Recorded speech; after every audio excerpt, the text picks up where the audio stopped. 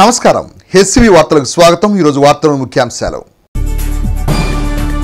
విద్యార్థులకు నాణ్యమైన విద్యతో పాటు ఉపాధి అవకాశాలు కల్పించడమే ఏఎస్ఎన్ డిగ్రీ కళాశాల ప్రధాన లక్ష్యం. కళాశాల చైర్మన్ తెనాలి శాసనసభ్యులు అన్నాబత్తుని శివకుమార్. పూలే కాలనీలో టిట్కో గ్రో సముదాయాలను లబ్ధిదారులతో కలిసి పరిశీలించిన మాజీ మంత్రి ఆలపాటి రాజేంద్ర ప్రసాద్. ప్రశాంతంగా ముగిసిన తెనాలి మున్సిపల్ కౌన్సిల్ సాధారణ సమావేశం. చైర్మన్ హోదాలో సభను సజావుగా నడిపిన municipal vice chairman Guntur Koteswararao. తెనాలిలో ఘనంగా ఎన్టీఆర్ శతాబ్ది చలనచిత్ర పురస్కార ప్రదానోత్సవ కార్యక్రమం. ఐఎంఏ తెనాలి శాఖ వారి ఆధ్వర్యంలో స్థానిక ప్రియదర్శిని డిగ్రీ కళాశాలలో బ్రెస్ట్ క్యాన్సర్ పై అవగాహన సదస్సు. తెనాలి పురపాల సంఘ మున్సిపల్ కౌన్సిల్ సాధారణ సమావేశం సోమవారం. తెనాలి పురపాల సంఘ కౌన్సిల్ హాల్లో తెనాలి పురపాల సంఘ వైస్ చైర్మన్ గుంటూరు కోటేశ్వరరావు అధ్యక్షతన జరిగింది. అజెండాలోని ఇరవై ఐదు అంశాలను సభ్యులు చర్చించి వాటిని ఆమోదించారు. సోమవారం జరిగిన మున్సిపల్ కౌన్సిల్ సాధారణ సమావేశంలో అజెండాలోని ఇరవై ఐదు అంశాలపై చర్చించారు. ఈ సమావేశంలో చెత్త పన్ను వసూలు వ్యర్థ పదార్థాలను బహిరంగ ప్రదేశాల్లో కాల్చినందుకు అపరాధ రుసుము వసూలుపై అధికార ప్రతిపక్ష సభ్యుల మధ్య అధికారుల మధ్య కొద్దిసేపు వాదోపవాదాలు చోటు చేసుకున్నాయి. అనంతరం ఎజెండాలోని పలు అంశాలపై కౌన్సిల్ సభ్యులు అడిగిన ప్రశ్నలకు మున్సిపల్ కమిషనర్ జశ్వంతరావు పలువురు అధికారులు వివరణ తెలిపారు. చైర్పర్సన్ సయ్యద్ ఖాయిద్ నసీం సమావేశానికి హాజరు కాకపోవడంతో municipal vice chairman Guntur Koteswararao అధ్యక్ష స్థానాన్ని చేపట్టి సమావేశాన్ని కొనసాగించారు. ఈ సందర్భంగా తాత్కాలిక చైర్మన్ గుంటూరు కోటేశ్వరరావు మాట్లాడుతూ కౌన్సిలర్గా మున్సిపల్ వైస్ చైర్మన్గా అవకాశం ఇచ్చిన తెనాలి శాసనసభ్యులు అన్నాబుత్తిన శివకుమార్ నేటి మున్సిపల్ కౌన్సిల్ సమావేశానికి చైర్మన్ హోదాను అప్పగించడం తన జీవితంలో మరిచిపోని రోజుగా భావిస్తున్నామని అన్నారు. సమావేశం ప్రశాంత వాతావరణంలో జరగడానికి సహకరించిన సభ్యులందరికీ ధన్యవాదాలు తెలిపారు. సమావేశంలో అజెండాలోని ఇరవై ఐదు అంశాలను ఆమోదిస్తున్నట్టు చైర్మన్ గుంటూరు కోటేశ్వరరావు ప్రకటించారు. కార్యక్రమంలో municipal vice chairman Malepati Hariprasad municipal council ప్రతిపక్ష నేత P Trimurthy municipal assistant commissioner Gopalarao ME K Nagamalleswararao MHO doctor KH Nirmala పలువురు అధికార ప్రతిపక్ష కౌన్సిల్ సభ్యులు పలు విభాగాల అధికారులు పాల్గొన్నారు. ఏజెండాలో ఆ విషయాలు మొత్తం కూడా పూర్తిగా ఆమోదించారు మా కౌన్సిల్ సభ్యులు మొత్తం కూడా. గడప గడపకి మా ప్రభుత్వం అనే దాంట్లో పెట్టినవి ఇతరులు పెట్టినవి కూడా అన్నీ కూడా సమావేశంగా అందరి కౌన్సిలర్స్ కూడా ఆమోదించినందుకు కూడా మరొకసారి ధన్యవాదాలు. మాకు ఈ పదిహేనో వార్డులో కౌన్సిలర్గా అన్నగారు అన్నాభత్తుల శివకుమార్ గారు సీట్ ఇచ్చి నన్ను గెలిపించి వైస్ చైర్మన్ చేసి మళ్ళా ఈరోజు ఒక్కరోజుకి చైర్పర్సన్గా ఇచ్చినందుకు మా అన్న అన్నాభత్తుల శివకుమార్ గారికి మన ఎమ్మెల్యే గారికి ధన్యవాదాలు తెలుపుతున్నాం. నేను చైర్పర్సన్గా ఒక్కరోజైనా ఇచ్చిన నాకు ఎంతో సంతోషంగా ఉంది. మీరందరూ కూడా ఈ ఒక్కసారి కౌన్సిల్ మీటింగ్కి శుభ్రంగా చక్కగా జరిపినందుకు మీరు చక్కగా చేసినందుకు మీకు మరొకసారి ధన్యవాదాలు తెలుపుతా. ప్రతిసారి కూడా ఇట్లాగే జరుపుకుందామని మనం అందరం కూడా కలిసికట్టుగా ఉండాలని మనం అంతా కూడా రాబోయే రోజుల్లో కూడా చక్కగా జరుపుకుందామని చెప్పి ధన్యవాదాలు తెలుపుతా సెలవు తీసుకుంటాం ఈ డిస్పోజల్ చేసేటప్పుడు శాస్త్రీయ పద్ధతి ప్రకారం చేస్తారు. ఆ డిస్పోజ్ అయ్యేటప్పుడు కూడా దాన్ని కూడా కొలత తీసుకొని మనం పేమెంట్ ఇస్తాం ఇది ఎక్కడే చేస్తాం అధ్యక్ష ఈ ఫిల్టర్?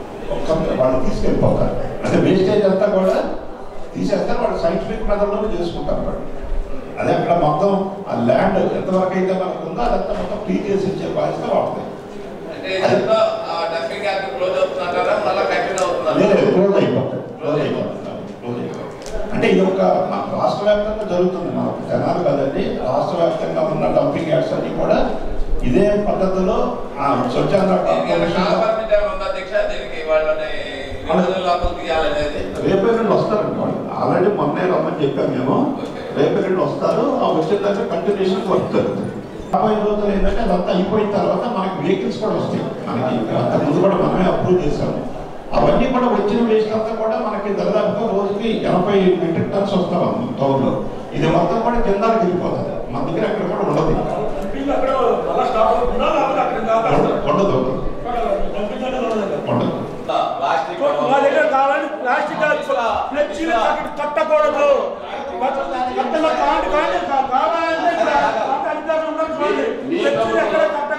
ఓకే మీ ప్రభుత్వంలో ఇంప్లిమెంటేషన్ చేసి రెండు వేల పదిహేను ఆల్రెడీ మీ ప్రభుత్వం ఉంది. ఇంప్లిమెంటేషన్ మీరు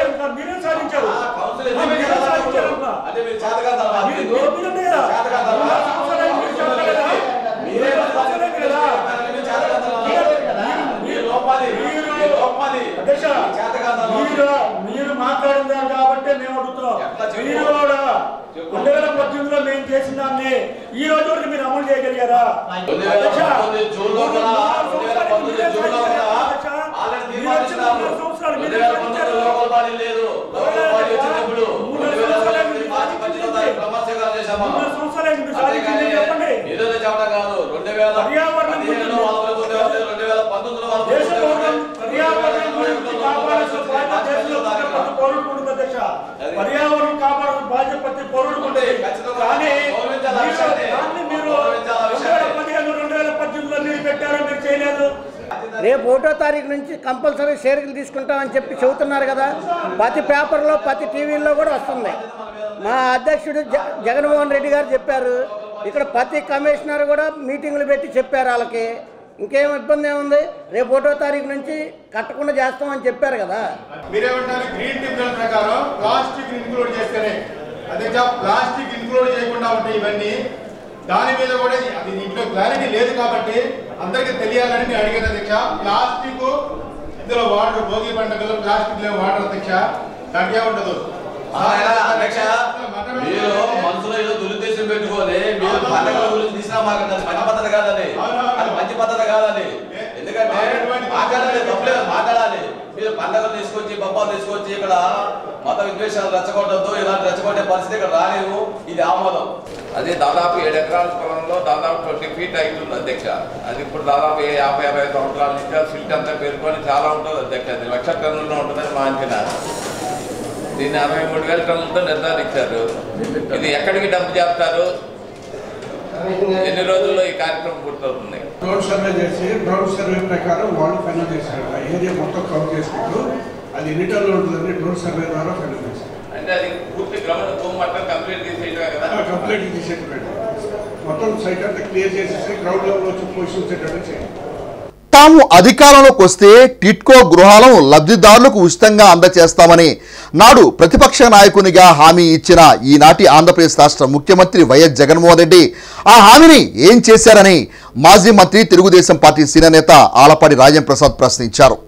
సోమవారం తెనాలి పూరే కాలనీలోని టిట్కో గృహాలను లబ్ధిదారులతో కలిసి మాజీ మంత్రి తెలుగుదేశం పార్టీ సీనియర్ నేత ఆలపాటి రాజేంద్ర ప్రసాద్ సందర్శించారు.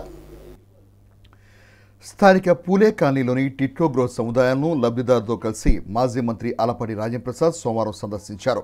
గృహ నిర్మాణాల గురించి లబ్ధిదారును ఆయన అడిగి తెలుసుకున్నారు. లబ్ధిదారులు మౌనంగా ఉంటే కుదరదని ప్రభుత్వంపై పోరాటం చేస్తేనే తమకు ఇల్లు దక్కే పరిస్థితులు ఉన్నాయని ఆయన లబ్ధిదారులకు సూచించారు. ఈ సందర్భంగా మాజీ మంత్రి తెలుగుదేశం పార్టీ సీనియర్ నేత ఆలపాటి రాజప్రసాద్ మాట్లాడుతూ గత తెలుగుదేశం పార్టీ ప్రభుత్వ హయాంలో పేదలకు డిట్కో గృహాలను అందించేందుకు చేపట్టిన గృహ సముదాయాల పట్ల నేటి వైఎస్ఆర్ కాంగ్రెస్ పార్టీ ప్రభుత్వం నిర్లక్ష్య ద్వారా ప్రవర్తించడం దారుణమని అన్నారు. అధికారంలోకి వస్తే టిట్కో ఇళ్ళు ఉచితంగా ఇస్తామని హామీనిచ్చిన ఆంధ్రప్రదేశ్ రాష్ట్ర ముఖ్యమంత్రి వైఎస్ జగన్మోహన్ రెడ్డి ఆ హామీని ఏం చేశారని ప్రశ్నించారు. లబ్ధిదారులకు ఇల్లు ఇవ్వకపోగా బ్యాంకు లోన్లు ఇచ్చి ప్రభుత్వమే లాక్కున్న పరిస్థితి ఉందని అన్నారు. ప్రతి విషయంలోనూ ప్రజలను నమ్మించి మోసం చేస్తున్న వైఎస్ఆర్ కాంగ్రెస్ పార్టీ ప్రభుత్వం ప్రజా వ్యతిరేక విధానాలను అవలంబించడం మానుకోవాలని హితూ పలికారు. రాష్ట్రంలోని ముఖ్యమంత్రి జగన్మోహన్ రెడ్డి నాయకత్వంలోని వైఎస్ఆర్ కాంగ్రెస్ పార్టీ ప్రభుత్వం దొంగ ప్రభుత్వం అని మాజీ మంత్రి ఆలపడి రాజేంద్రప్రసాద్ విమర్శించారు. కార్యక్రమంలో తెలుగుదేశం పార్టీ నాయకులు మహమ్మద్ కుద్దూష్ కంచెల ఏడుకొండలు జొన్నాదుల మహేష్ కనక రాంబాబు తాత శ్రీనివాసరావు ఈదర వెంకట పూర్ణచంద్ బొబ్బిళ్ళపాటి ప్రసాద్ శ్రీనివాస్ పరుచూరి రమ్య జట్టి రేణుక కొండా రమాదేవి శాంతకుమారి రమాదేవి గిరి గణేష్ పలువురు కౌన్సిలర్లు నాయకులు కార్యకర్తలు లబ్ధిదారులు పాల్గొన్నారు. ఏపీ టిట్కో హౌసింగ్ స్కీమ్ కింద గత ప్రభుత్వంలో చంద్రబాబు నాయుడు గారి నాయకత్వంలో రాష్ట్ర వ్యాప్తంగా ముప్పై లక్షల గృహాలని నిర్మాణం చేసి పేదవారందరికీ కూడా ఇల్లు ఇవ్వాలనే సొంత ఇంటికల సాకారం చేయాలనే ఉద్దేశంతో ప్రారంభించబడినటువంటి ప్రాజెక్టు. దానిలో భాగంగానే మొ మొదట విడత దాదాపు తొమ్మిది లక్షల గృహాలని నిర్మాణం చేపట్టాలనే ఉద్దేశంతో ఆనాటి చంద్రబాబు నాయుడు గారి ప్రభుత్వం టెండర్లు పిలవగా నాలుగు లక్షల అరవై తొమ్మిది వేల ఇళ్ళకి బిడ్డింగ్ పూర్తి కావటం జరిగింది. రాష్ట్ర వ్యాప్తంగా వివిధ ప్రాంతాల్లో. ఆ నేపథ్యంలోనే మన గుంటూరు జిల్లాలో తెనాలి నియోజకవర్గంలో మొదట విడత పదకొండు వందల గృహాలకి రెండో విడత పద్నాలుగు వందల గృహాలకి రెండు వేల ఐదు వందల గృహాలకి శాంక్షన్ చేయటం జరిగింది. ఆ నేపథ్యంలోనే మొదటి విడత పదకొండు వందల గృహాలకి జీ ప్లస్ ఫోర్ అనే నేపథ్యంలో వచ్చిన తర్వాత జీ ప్లస్ త్రీగా మార్చడం వల్ల ఎనిమిది వందల నలభై ఎనిమిది గృహాలని నిర్మాణం పూర్తి చేసుకోవడం జరిగింది. ఈ గృహాలని అంతకుముందు నిర్ణయించిన ప్రకారంగా ఐదు వందల రూపాయలు కట్టిన వాళ్ళు కానీ మూడు వందల అరవై ఐదు అడుగులకి ఇంటి నిర్మాణం కానీ లేకపోతే నాలుగు వందల ముప్పై అడుగుల ఇంటి నిర్మాణం కానీ వాళ్ళ కాంట్రిబ్యూషన్ ఐదు వందలు ఇరవై ఐదు వేలు యాభై వేలు లక్ష రూపాయలు దామాషా ప్రకారం కాంట్రిబ్యూషన్ ఉంటే మూడు వందల అడుగుల గృహాలకి మాత్రం ఉచితంగా మీరేమీ కట్టవసరంలా ఐదు వందలు కూడా తిరిగి ఇస్తామని చెప్పి ఉభయ పార్టీలు కూడా చెప్పడం జరిగింది. తెలుగుదేశం అదేవిధంగా వైసీపీ పార్టీ వాళ్ళు. ఆ తర్వాత ఎన్నికలు జరగటం వైసీపీ పార్టీ ప్రభుత్వంలో రావటం జరిగింది. వీళ్ళకి ఐదు వందలు ఇచ్చిన దాఖలాలు లేవు కానీ చాలా స్పష్టంగా ఒక ఉత్తరం అందమైన ఫోటోతో జగన్మోహన్ రెడ్డి గారి అందమైన ఫోటోతో అక్క చెల్లెమ్మలకి చక్కటి ఆకాశపు రంగుతో నీలి రంగుతో ఒక పత్రాన్ని ముద్రించి దీన్ని ఈ రకంగా చేసుకోమని చెప్పి వాళ్ళకి మీరు శాశ్వతంగా ఉంచుకోవాల్సినటువంటి పత్రం అని చెప్పి వాళ్ళకి చెప్పి దీనికి ఒక వంద రూపాయలు ఖర్చు పెట్టించి రెండు వేల ఇరవై నవంబర్న స్వయంగా జగన్మోహన్ రెడ్డి గారి చిత్రంతో ముద్రించబడినటువంటి ఎవరైతే ఈ టిట్కో హౌసుల్లో లబ్ధి పొందున్నారో వారు ప్రతి ఒక్కరికి కూడా ఈ ఫోటోతో కూడినటువంటి అబ్స్ట్రాక్ట్ ఇవ్వడం జరిగింది. దీన్ని ధృవపరచడం కూడా జరిగింది. ఇక్కడ ఉన్న మున్సిపల్ కమిషనర్ గారు కూడా వారి సంతకంతో పెట్టిన ఇది కూడా ఆ లబ్ధిదారికి ఇచ్చిన దీంట్లో కూడా చాలా స్పష్టంగా ఇది అది రెండు కూడా కలిపి ఇక్కడ ఉన్న మున్సిపల్ కమిషనర్ గారు నీకు ఈ అడుగుల ఇల్లు ఈ బ్లాక్లో ఫలానా నెంబర్ ఇల్లు నీకు ఇవ్వటం జరిగిందని చెప్పి కూడా చాలా స్పష్టంగా చెప్పడం జరిగింది. మీకు చిత్తశుద్ధి ఉంటే మీకు ధైర్యం ఉంటే మీరు ఏ రకంగా రాయించుకున్నారు కొంతమంది చేత తీద్దాం లిస్ట్ తీయండి. ఎనిమిది వందల నలభై ఎనిమిదిని ప్రకటించండి ముందల. దానికి తికానా లేదు. కోర్టులో చెప్పారు మీరు. రెండు వేల ఇరవై రెండు మార్చి కల్లా పూర్తిగా ఏ అయితే నిర్మాణం జరిగినటువంటి ఇళ్ళు ఉన్నాయో పాక్షికంగా నిర్మాణం జరిగినటువంటి ఇళ్ళు ఏవైతే ఈ రాష్ట్రంలో ఉన్నాయో వాటిలన్నింటినీ కూడా బాగు చేయించి మరామతు చేసి ఏదైనా అవసరమైతే తిరిగి మళ్ళీ వాటిలన్నింటినీ పునరుద్ధరించి లబ్ధిదారులకి అప్పజెపుతామని చెప్పి చాలా స్పష్టంగా మీ మీ ప్రిన్సిపల్ సెక్రటరీస్ ఎవరైతే హౌసింగ్ బోర్డు సంబంధించిన డైరెక్టర్స్ ప్రిన్సిపల్ సెక్రటరీస్ అందరూ కూడా కోర్టులో అఫిడవిట్ ద్వారా వేయటం జరిగింది. నెల కింద పదహారు వందలు కట్టాలని ఒకళ్ళని మూడు వేలు కట్టాలని ఒకళ్ళని నాలుగు వేలు కట్టాలని ఒకళ్ళని పీడిస్తూ ఉన్నాయి బ్యాంకులు. బ్యాంకులకు చెప్పుకునే పరిస్థితి నీకు లేదా అని చెప్పి నేను అడుగుతా ఉన్నా. అందరినీ శాసిస్తానని చెప్తావు కదా. నేను చెప్తున్నానని చెప్తావు కదా. ఏం నువ్వేం చెప్తున్నావు ఎవరికి చెప్తున్నావు అని చెప్పి నేను అడుగుతా ఉన్నా. ఏమైంది నేను నేను చెప్పే మాట అని చెప్పి నేను అడుగుతా ఉన్నా. పేదవాడికి హింస జరుగుతూ ఉంటే మానసికంగా కుంగిపోతూ ఉంటే వాళ్ళ సొంత ఇంటి కళ సాకారం కాకుండా ఉంటే ఇప్పటికి కూడా అయోమయమైన పరిస్థితుల్లో వాళ్ళు ఉంటే ఇవాళకి కూడా బ్యాంకులు వాళ్ళు వెంట పడతా ఉంటాయి నోరు మూసుకొని కళ్ళుండి కబోదలాగా చెవులుండి వినటానికి కూడా వినలేని పరిస్థితిలో బతుకుతా ఉన్నారా? మీరందరూ అని చెప్పి నేను అడుగుతా ఉన్నా. ఏమిటి ఈ ప్రభుత్వం చేస్తున్నటువంటి నిర్వాహకం? మాకు ఇక్కడ C four block S twelve అని చెప్పి డబ్బులు కట్టించుకున్నారండి. లక్ష రూపాయలు కట్టాను నేను. ఆ రోజు మా దగ్గర డబ్బులు లేకపోయినా ఇంట్లో బంగారం అవి తీసుకెళ్ళి తాకట్టు పెట్టి డబ్బులు కట్టామండి. అయితే ఇంతవరకు ఇల్లు ఇచ్చిన పాపాను బాగాలేదు తర్వాత బ్యాంక్ లోను నాలుగు లక్షలు శాంక్షన్ అయిందని చెప్పి మా దగ్గర ఫామ్స్ అన్నీ తీసుకున్నారండి.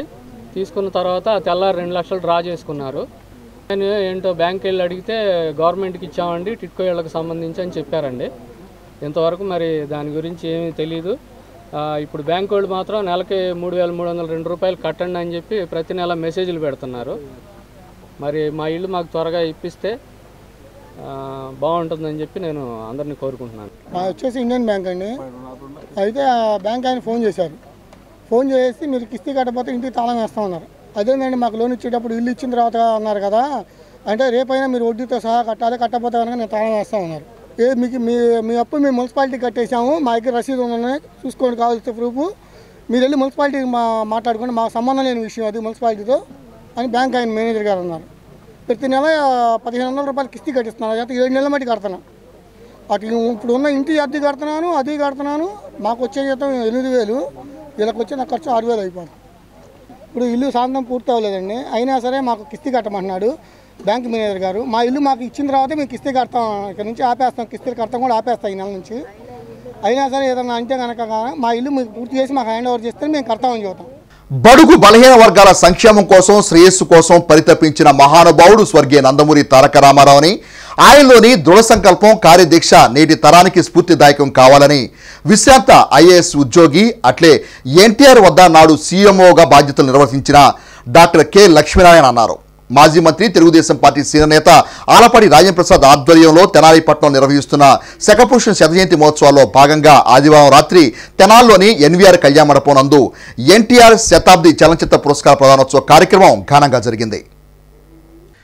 మాజీ మంత్రి ఆలపాటి రాజంప్రసాద్ అధ్యక్షతన ఆదివారం రాత్రి ఎన్టీఆర్ శతాబ్ది చలనచిత్ర పురస్కారాన్ని సుప్రసిద్ధ సినీ నటి ఎల్ విజయలక్ష్మికి సినీ దర్శక నిర్మాత వైవిఎస్ చౌదరికి ఎన్టీఆర్ అభిమాన సత్కారాన్ని అందించారు. ఎన్వీఆర్ కళ్యాణ మండపంలో జరిగిన సభలో ముఖ్య అతిథిగా పాల్గొన్న లక్ష్మీనారాయణ మాట్లాడుతూ తెలుగు భాషకు జాతికి ప్రపంచ గుర్తింపు తెచ్చింది ఎన్టీఆర్ మాత్రమేనని అన్నారు. మండల వ్యవస్థను ప్రవేశపెట్టి ముప్పై మూడు శాతం బీసీలకు పదవులు ఇచ్చిన గొప్ప వ్యక్తి ఆయనని అన్నారు. ఆయన చిత్తశుద్ధితో ప్రవేశపెట్టిన పథకాలే నేటికి అమలు కావడం చూస్తున్నామని ప్రజల కోసం ప్రతిరోజు దర్బారు నిర్వహించారని మంత్రులు ఎమ్మెల్యేలకు నెలకు రెండుసార్లు సమావేశాలు జరిపేవారని గుర్తు చేశారు. సినీ రాజకీయ రంగాల్లో ఆయన వైభవం ప్రజాసేవ కాంక్షను దగ్గరగా చూశామని అందుకోసం మూడేళ్ళు శ్రమించి ఆయన బయోగ్రఫీ రూపొందించామని అన్నారు. ప్రతి మహిళా బయోగ్రఫీ చదివి బిడ్డలకు స్ఫూర్తినిచ్చేలా తీర్చిదిద్దాలని కోరారు. తెలుగు జాతి ఉన్నంత వరకు ఆయన మర్చిపోలేమని అత్యంత నీతివంతుడు అసాధ్యాలను సుసాధ్యం చేసిన ఎన్టీఆర్ను కాంగ్రెస్ ఎన్నో కష్టాలు పెట్టినా ఆయన ఏమాత్రం రాజీ పడలేదని అన్నారు. రాష్ట్రపతులు సైతం ఎన్టీఆర్ ఇంటికి వచ్చి ఆతిథ్యం స్వీకరించేవారంటే ఆయనపై ఉన్న గౌరవాన్ని తెలియజేస్తుందని అన్నారు. పురస్కార గ్రహీత విజయలక్ష్మి మాట్లాడుతూ ఎన్టీఆర్ క్రమశిక్షణ తన జీవితానికి ఎంతో మేలు చేసిందని అన్నారు. మహానటుని పురస్కారాన్ని పొందిన తనకు చెప్పేందుకు మాటలు రావటం లేదని జన్మ ధన్యమైందని అన్నారు. దర్శకులు వైవే చౌదరి మాట్లాడుతూ ఎన్టీఆర్ స్ఫూర్తితో సినీ రంగంలోకి వచ్చానని దేవుడు విశ్రాంతి తీసుకునేందుకు ఎన్టీఆర్ని భూలోకానికి పంపినట్లుగా ఎన్టీఆర్ వైభవాన్ని వర్ణించారు.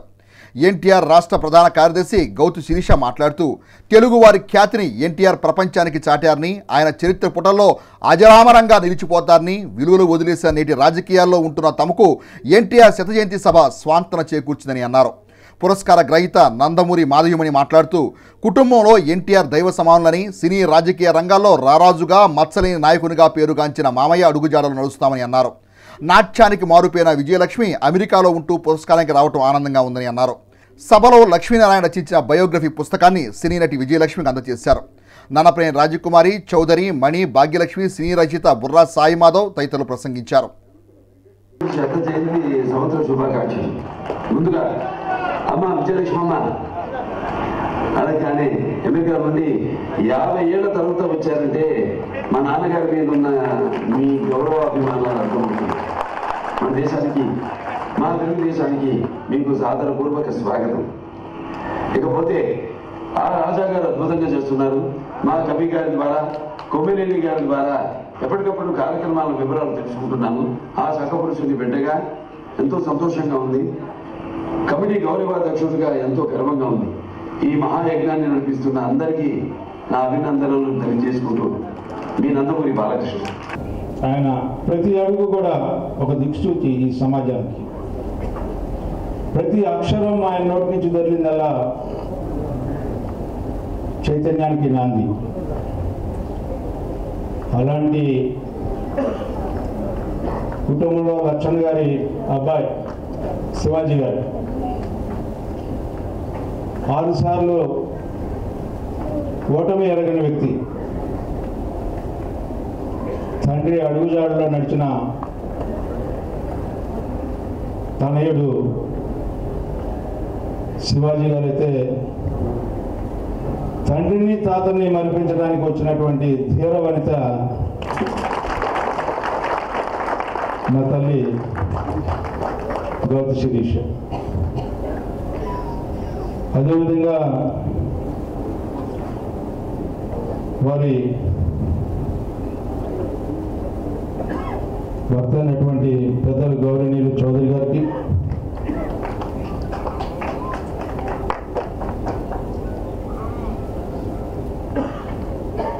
మీ అందరికీ తెలుసు ఈ ఆడిటోరియం కానీ అదేవిధంగా ఈ ప్రాంతానికి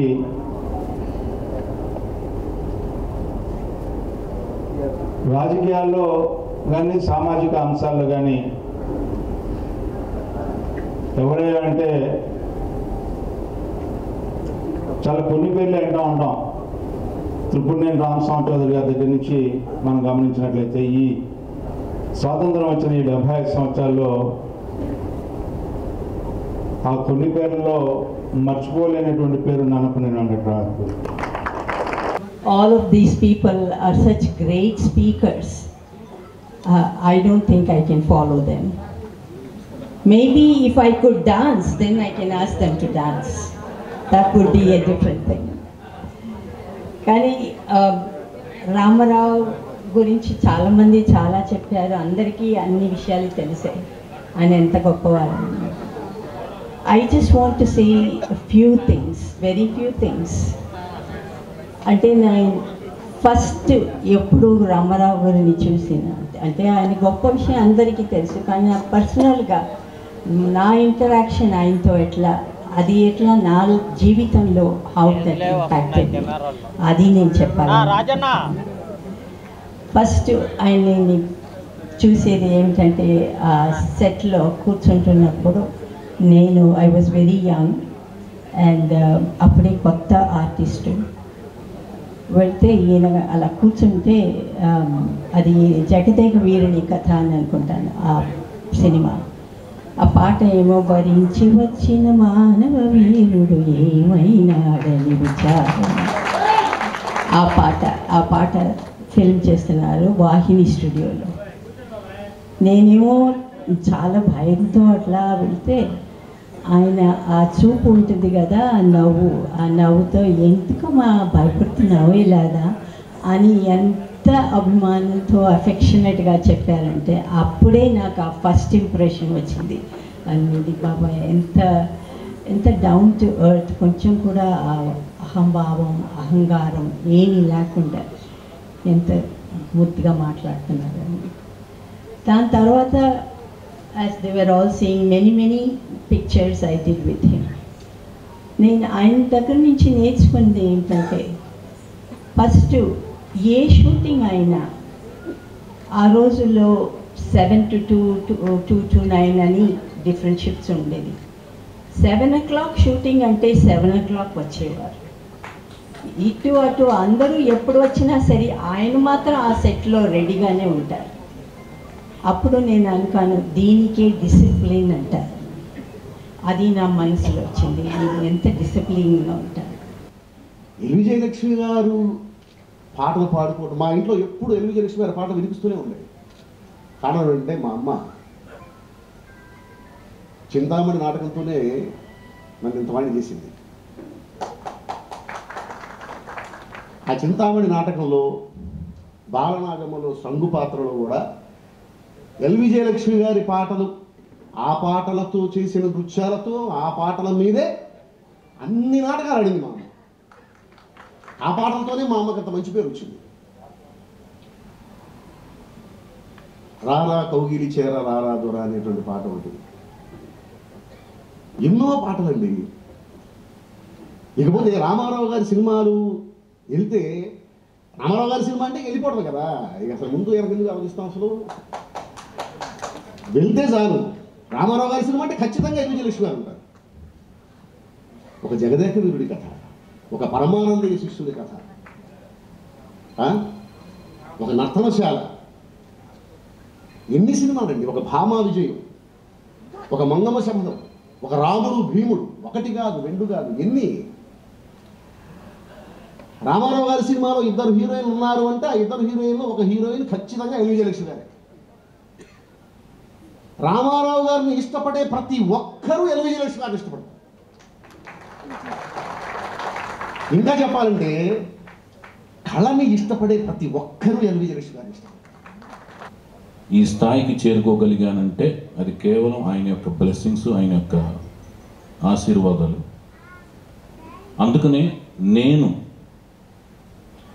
నా జీవితంలో సినిమా జీవితంలో నేను సంపాదించిన కీర్తి కనకం ఏమైతే ఉందో అదంతా స్వర్గీయ నందమూరి తారక రామారావు గారి అకౌంట్లోంచి నేను డైలీ డ్రా చేసుకుంటున్నట్టే ఫీల్ అవుతాను. ఆయన నాకు ఇస్తున్న కానుకలుగానే ఫీల్ అవుతాను. స్వర్గీయ నందమూరి తారక రామారావు గారు అనగానే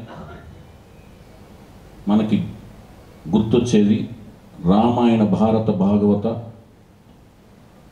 పురాణాలకు సంబంధించిన అన్ని రకాల పాత్రల్లో ఆయన పోషించిన తీరు అలాగే సాంఘిక పాత్రలో పోషించిన తీరు చారిత్రాత్మక పాత్రలో పోషించిన తీరు ఇవన్నీ అందరికీ తెలిసిన చక్కటి మన కళ్ళ ముందు సజీవ సజీవంగా కదలాడే దృశ్యాలే. అంతటితో సరిపెట్టుకోకుండా ఆయన నాకు ఇంత చేసిన ఈ ప్రజలకి ఏదో ఒకటి చేయాలి అని అరవై ఏళ్ళ వరకు ఒక లెక్క అరవై ఏళ్ళ తర్వాత ఇంకొక లెక్క అంటూ రాజకీయ రంగంలో ప్రవేశించి తెలుగుదేశం అనే ఒక పార్టీని పెట్టాడు. ఆ పార్టీతో ఎంతో మందికి రాజకీయ భృతి కల్పించారు. ఎల్ విజిలేషన్ గారు మూమెంట్స్ని క్యాచ్ చేయడానికి హై స్పీడ్ కెమెరాలో మనం పట్టగలిగితే ఆవిడ మూమెంట్స్ని అంత ఫాస్ట్గా అయితేనే ఆ- ఆ మూమెంట్ని పట్టాలంటే హై స్పీడ్ కెమెరాలో పట్టగలం. పట్టగలిగిన తర్వాత డ్యాన్స్ నేర్చుకున్న వాళ్ళకందరికీ తెలుస్తుంది. One two three four five six seven eight. Eight కౌంట్లో చాలామంది ఇప్పటికీ ఉన్న పెద్ద పెద్ద డాన్సర్స్ లేకపోతే అద్భుతంగా నాట్యం చేస్తున్నారు అనిపించుకునే ప్రతి ఒక్క డాన్సర్ అది మేల్ కావచ్చు ఫీమేల్ కావచ్చు ఎక్కడో చోట రెండు నుంచి మూడు కానీ మూడు నుంచి నాలుగు కానీ జంప్ అయిపోయి స్కిప్ చేసేసి కౌంట్ ఫినిష్ చేసేసి ఫైనల్గా ఫోజ్ ఇచ్చి ఆగుతారు. ఎల్ సింగర్ గారు అలా కాదు. ఒకటి రెండు మూడు నాలుగు ఐదు ఆరు ఏడు ఎనిమిది అన్ని కౌంట్స్ని క్లియర్గా టచ్ చేస్తూ అదే వేగంలో టచ్ చేస్తూ ఏది మిస్ కాకుండా ఎక్స్ప్రెషన్స్ మిస్ కాకుండా నుంచోగలిగిన అద్భుతమైన నాట్య కళాకారుని అనమాట అభిమానం అన్నది చెప్పడంలోనే కాదు చూపించడంలో కూడా. అటువంటి శక పురుషుని శత జయంతి ఉత్సవాలని ఆయన మీద ఒక అభిమానంతో ఆ అభిమానాన్ని పది మంది వంద మంది వేల మందితో పంచుకోవాలని ఈ కార్యక్రమాన్ని వంద రోజులుగా నిర్వహిస్తూ మరి ఈ కార్యక్రమానికి గుర్తింపు తీసుకురావాలని the right award to the right persons లాగా ఈరోజు ఎంపిక చేసిన వ్యక్తుల బట్టే పెద్ద ఆయన తాలూకా గౌరవం అన్నది మనకి ఈరోజు అర్థమవుతా ఉంది. సినిమాలోని కూడా పెద్ద ఆయన గురించి ఏదో ఒక ప్రత్యేకత చూపిస్తూ అభిమానాన్ని నిజ జీవితంలో కూడా అన్వయిస్తున్న అసోసియేషన్ అభిమానిగా వైవిఎస్ చౌదరి గారిని ఈరోజు అభిమాన సత్కార గ్రహీతగా ఎంపిక చేసినందుకు మేము అందరం కూడా చాలా సంతోషిస్తున్నాము. మేము సినిమాలు చూసే టైంకే మేడం తెలియదు మాకు. కానీ ప్రతి ఒక్కరం ఒక మాయాబజార్ కానీ ఒక మిస్సమ్మ కానీ ఒక గుండమ్మ కథ కానీ ప్రతి ఒక్కరం ఖచ్చితంగా చూసి తిరుగుతాము. మేము కుర్రాళ్ళకు ఉన్నప్పుడు ఆమె డ్యాన్స్ మాకు ఒక థ్రిల్ అసలు ఆమెకి ఎక్కడితో తెలియదు ఆ స్కిల్ ఆమె ఉంటేనే సినిమాకు వెళ్ళు. ఎలా కదిలిస్తుందో తెలియదు ఒళ్ళు. మా జోబులు మాత్రం పెట్టింది చిల్లు. ఆమె లేకపోతే గుండె జల్లు. ఆమె వైపే చూసేవి మా కళ్ళు. మిగతా పడేవాళ్ళు కుళ్ళు. అది ఆమె చేసినటువంటి డ్రిల్లు. ఆమె విజయలక్ష్మి అల్లు. అసలు ఆమె ఇందాక కొన్ని పాటల్లో చూపించారు. అసలు నిండు మనసుల్లో చూడాలి. లెమ్మన్నది. రమ్మ. హాయ్ అల్లారీశ్వరి అసలు ఇంకో పాటలో. మనసు నిలువదు నుంటే మధువు ఎందుకు నేనుంటే? NTR has a fertile mind as original ideas ఎవరో ఐడియాస్ కాపీ కొట్టరు ఆయన. చిత్తశుద్ధితో దృఢ సంకల్పంతో కార్యదీక్ష అందుకనే ఈ ఈ ప్రోగ్రాం పెట్టింది. ఈ యువకులకు ఈ యంగ్స్టర్స్కు ఆయన చాలా స్ఫూర్తిదాయకం. అందుకనే మా బుక్స్ రాసేటప్పుడు బుక్స్ ప్రింట్ అయిన తర్వాత నేను ఎవరికి ఇచ్చినా ఫస్ట్ మహిళలకు ఇస్తున్నాను ఆ బుక్స్. ఎందుకంటే అది చదివి ఆ పిల్లల్లో ఆయనలో ఉండేటువంటి మంచి క్యారెక్టర్స్ అన్ని పిల్లలకు నేర్పాలా. జీవితంలో ఆయన ఆయన ఆయన పండన్ని చేసిన పనులు ఏం చేయలే? చాలా మందికి తెలియదు బాంబేలో ఆంధ్ర మెస్ పెట్టాడు. చిన్న చిన్న వ్యాపారాలు చేశాడు. తర్వాత గవర్నమెంట్ ఉద్యోగానికి సెలెక్ట్ అయ్యాడు. దాన్ని రిజైన్ చేశాడు వన్ వీక్లోనే. మహానాయకుడు అయ్యాడు. ఎన్టీఆర్ గారి బహుమతి కూతురుగా బసవతారకం గారి మేనగోడలుగా సాయికృష్ణ గారి భారీగా Kamineni hospitals Kamineni medical college Kamaleni industries అధినేత అయినటువంటి కామలేని సూర్యనారాయణ గారికి వేపరాలుగా పెద్దమ్మాయిని కామినేని సూర్యనారాయణ గారి చిన్నబ్బాయి రాజాకి ఇచ్చారు. ఆ ఫ్యామిలీతో మాకు బాగా దగ్గర సంబంధాలు. అందుకని బాగా ఎక్కువగా కలుస్తూ ఉంటాం. అట్లాగే మన భాగ్యలక్ష్మి కూడా మంచి స్నేహితురాలు ఎప్పుడు కూడా కలుస్తూ ఉంటారు. ఒక మంచి మహిళ. ఈరోజు ఇక్కడ రావడం చాలా గర్వకారణంగా నేను భావిస్తున్నాను. భాగ్యలక్ష్మి ఇందాక చెప్పాను. మనకు అందరూ కూడా ఈరోజు పెమ్మసాని థియేటర్ అని పెమ్మసాని బ్రదర్స్ వాళ్ళు అమెరికాలో ఉంటారు. రాయన్ ప్రసాద్ గారి మాట చెప్పగానే హాల్ ఇవ్వడం రోజు సినిమా ఎన్టీఆర్ గారి ఉదయం ఒక సినిమా అక్కడ ఉండటం. కుటుంబంలో తండ్రిగా మామగారుగా మాకు దైవ సమానులు. మామయ్య గారి అడుగుజాడలలో నడుస్తూ పిల్లలని క్రమశిక్షణగా పెంచి సంస్కార సంస్కారవంతులుగా తీర్చిదిద్ది మా అందరికీ మార్గదర్శకురాలు మా అత్తగారు నా మేనత్త కొల్లిపర మండలం మున్నంగిలో నూతనంగా నిర్మించిన ఆర్బీకే సెంటర్ను స్థానిక శాసనసభ్యుల అన్నాబత్తిని శివకుమార్ ప్రారంభించారు. కొల్లిపర మండలం మున్నంగిలో నూతనంగా నిర్మించిన ఆర్బీకే సెంటర్ను స్థానిక శాసనసభ్యులు అన్నామతిని శివకుమార్ ప్రారంభించారు. సోమవారం గ్రామాన్ని సందర్శించిన ఎమ్మెల్యే ప్రభుత్వ పథకాలు ఆర్బీకే కేంద్రాల ద్వారా అభివృద్ధి సాధ్యమవుతుందని అన్నారు. పంట పరిహారాలు కొనుగోళ్ళు ప్రక్రియ సులభతరమవుతుందని అన్నారు. ప్రజల కోసం రైతుల కోసం ఎన్నో సంక్షేమ పథకాలు చేస్తున్న ప్రభుత్వాన్ని విమర్శించడం తగదని అన్నారు. మహిళలకు వృద్ధులకు ఆర్థిక భరోసానిచ్చిన ఘనత ముఖ్యమంత్రి వైఎస్ జగన్మోహన్ రెడ్డిదని ఎమ్మెల్యే శివకుమార్ పేర్కొన్నారు. కార్యక్రమంలో కొల్లిపర ఎంపీపీ భీమవరపు పద్మావతి సంజీవరెడ్డి మండల పార్టీ అధ్యక్షులు ఆరిగ చంద్రారెడ్డి శ్రీనివాసరెడ్డి హరికోటిరెడ్డి రెడ్రోత్ బాలరాజు పోతురాజు సర్పంచ్ వేమూరు దీనమ్మ ఆళ్ళ శివనాగిరెడ్డి ఎంపీడీఓ శ్రీనివాసులు తహసీల్దార్ నాంచారయ్య కళ్ళం వెంకటరెడ్డి తదితరులు పాల్గొన్నారు. ఈ దేశ చరిత్రలో ఏ ముఖ్యమంత్రి చేయని విధంగా ప్రతి గ్రామాన్ని ఒక యూనిట్గా తీసుకొని గ్రామ సచివాలయాన్ని అలాగే వెల్నెస్ సెంటర్ని అలాగే ఆర్బీకే కేంద్రాన్ని సొంత భవనాల్లో నిర్మించాలి అని చెప్పి ఆ ప్రజల యొక్క అవసరాలు తీర్చడం కోసం వాటిని డబ్బులు ఎలకేట్ చేసి ఈరోజు మున్నంగి గ్రామంలో ఇంతకుముందే మనం సచివాలయాన్ని అలాగే ఆర్బీకే కేంద్రాన్ని ఇనాగ్రేట్ చేసుకున్నాం. ఈ సందర్భంగా పెద్దలు చంద్రారెడ్డి గారికి అలాగే ఈ వర్క్ మొత్తం కంప్లీట్ చేసిన సోదరుడు ఇంతకుముందు మండల వైస్ ప్రెసిడెంట్గా పనిచేసి వెంకటపారెడ్డి గారు వీళ్ళిద్దరూ ఎంతో బాధ్యత తీసుకొని సచివాలయాన్ని అలాగే ఆర్బీకే కేంద్రాన్ని ఎంతో సుందరంగా తీర్చిదిద్దారు. ఈరోజు ఈ రెండు అంటే గ్రామంలో సచివాలయం వెల్నెస్ సెంటరు ఆర్బీకే ఈ మూడు ప్రతి గ్రామంలో ఈరోజు నేను శాసనసభ్యుడిగా ఈ రాష్ట్ర ముఖ్యమంత్రి జగన్మోహన్ రెడ్డి గారి నాయకత్వంలో ప్రతి గ్రామంలో వీటిని ఎలకేట్ చేసి ఫినిష్ చేసుకుంటూ వస్తూ ఉన్నాం. ఇనాగ్రేట్ చేసుకుంటూ వస్తూ ఉన్నాం. రైతు కూర్చొని మాట్లాడుకున్న సందర్భాలు తప్పగా రైతుకు కేర్ ఆఫ్ అడ్రస్ లేదు ఈరోజు దేశంలో మొట్టమొదటిసారి రైతుకి కేర్ ఆఫ్ అడ్రస్ తీసుకొచ్చింది ఈ రాష్ట్ర ముఖ్యమంత్రి జగన్మోహన్ రెడ్డి గారు. అది రైతు భరోసా కేంద్రం ద్వారా. దాంట్లో రైతు తన పంట పండించే క్రమంలో ఆ రైతుకి తోడ్పాటు ఇవ్వటం కోసం ఇంత గొప్ప కేంద్రాన్ని ఏర్పాటు చేసి దాంట్లో ఇంతకు మనం చూసాం ఎలా అయితే సాయిల్ టెస్టింగ్ సంబంధించి మిషన్ కానీ ఎలా అయితే రైతు కొనుగోలు కేంద్రానికి వచ్చి నాణ్యమైన విత్తనాన్ని ఆర్డర్ చేసుకునే కిలోస్కర్ కానీ ఎలా అయితే రైతుకి తన సారవంతమైన భూమిలో ఈ సంవత్సరం ఏ క్రాప్ ఇస్తే ఏ క్రాప్ వేస్తే ఎంత రేటు ఎంత ఎకరా ఏరియా ఏ ఏ ప్రాంతాల్లో వేశారని తెలుసుకునే విధంగా ఇది కాక మళ్ళీ రైతుకు ఒక లైబ్రరీ పెట్టాం. అన్ని బుక్స్ని రైతుకు సంబంధించిన ఆ శాస్త్రవేత్తలు రాసిన బుక్స్ని. ఇది కాక ఒక నెట్ కలెక్షన్ ఇచ్చాం. ఆర్బీకేలో టీవీ పెట్టాం. ఈ నెట్ కలెక్షన్ ద్వారా శాస్త్రవేత్తల యొక్క అభిప్రాయాలు శాస్త్రవేత్తలతో ఇంట్రాక్షన్కి. ఇదిగాక రైతు భరోసాలో ఉన్న ఉద్యోగస్తులు రైతు భరోసా కేంద్రంకి వచ్చే రైతులకి వాళ్ళు డౌట్స్ని క్లారిఫై చేసేలాగా రైతు భరోసా కేంద్రాలు ఏర్పాటు చేశాం. మరి ఇది రైతుకి కేర్ ఆఫ్ అడ్రస్ కాక ఇంకెక్కడ ఉంటుంది?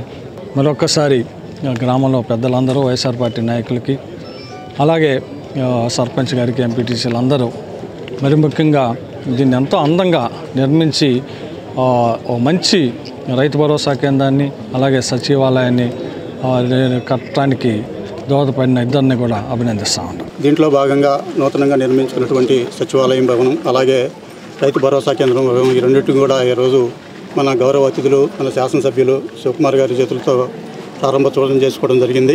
ముందుగా మా గ్రామ ప్రజలందరి తరపున తమ అమూల్యమైన హస్తాలతో ఈ భవనాలను ప్రారంభోత్సవం చేసినందుకు వారికి కృతజ్ఞతలు తెలియజేస్తూ ఉన్నాం.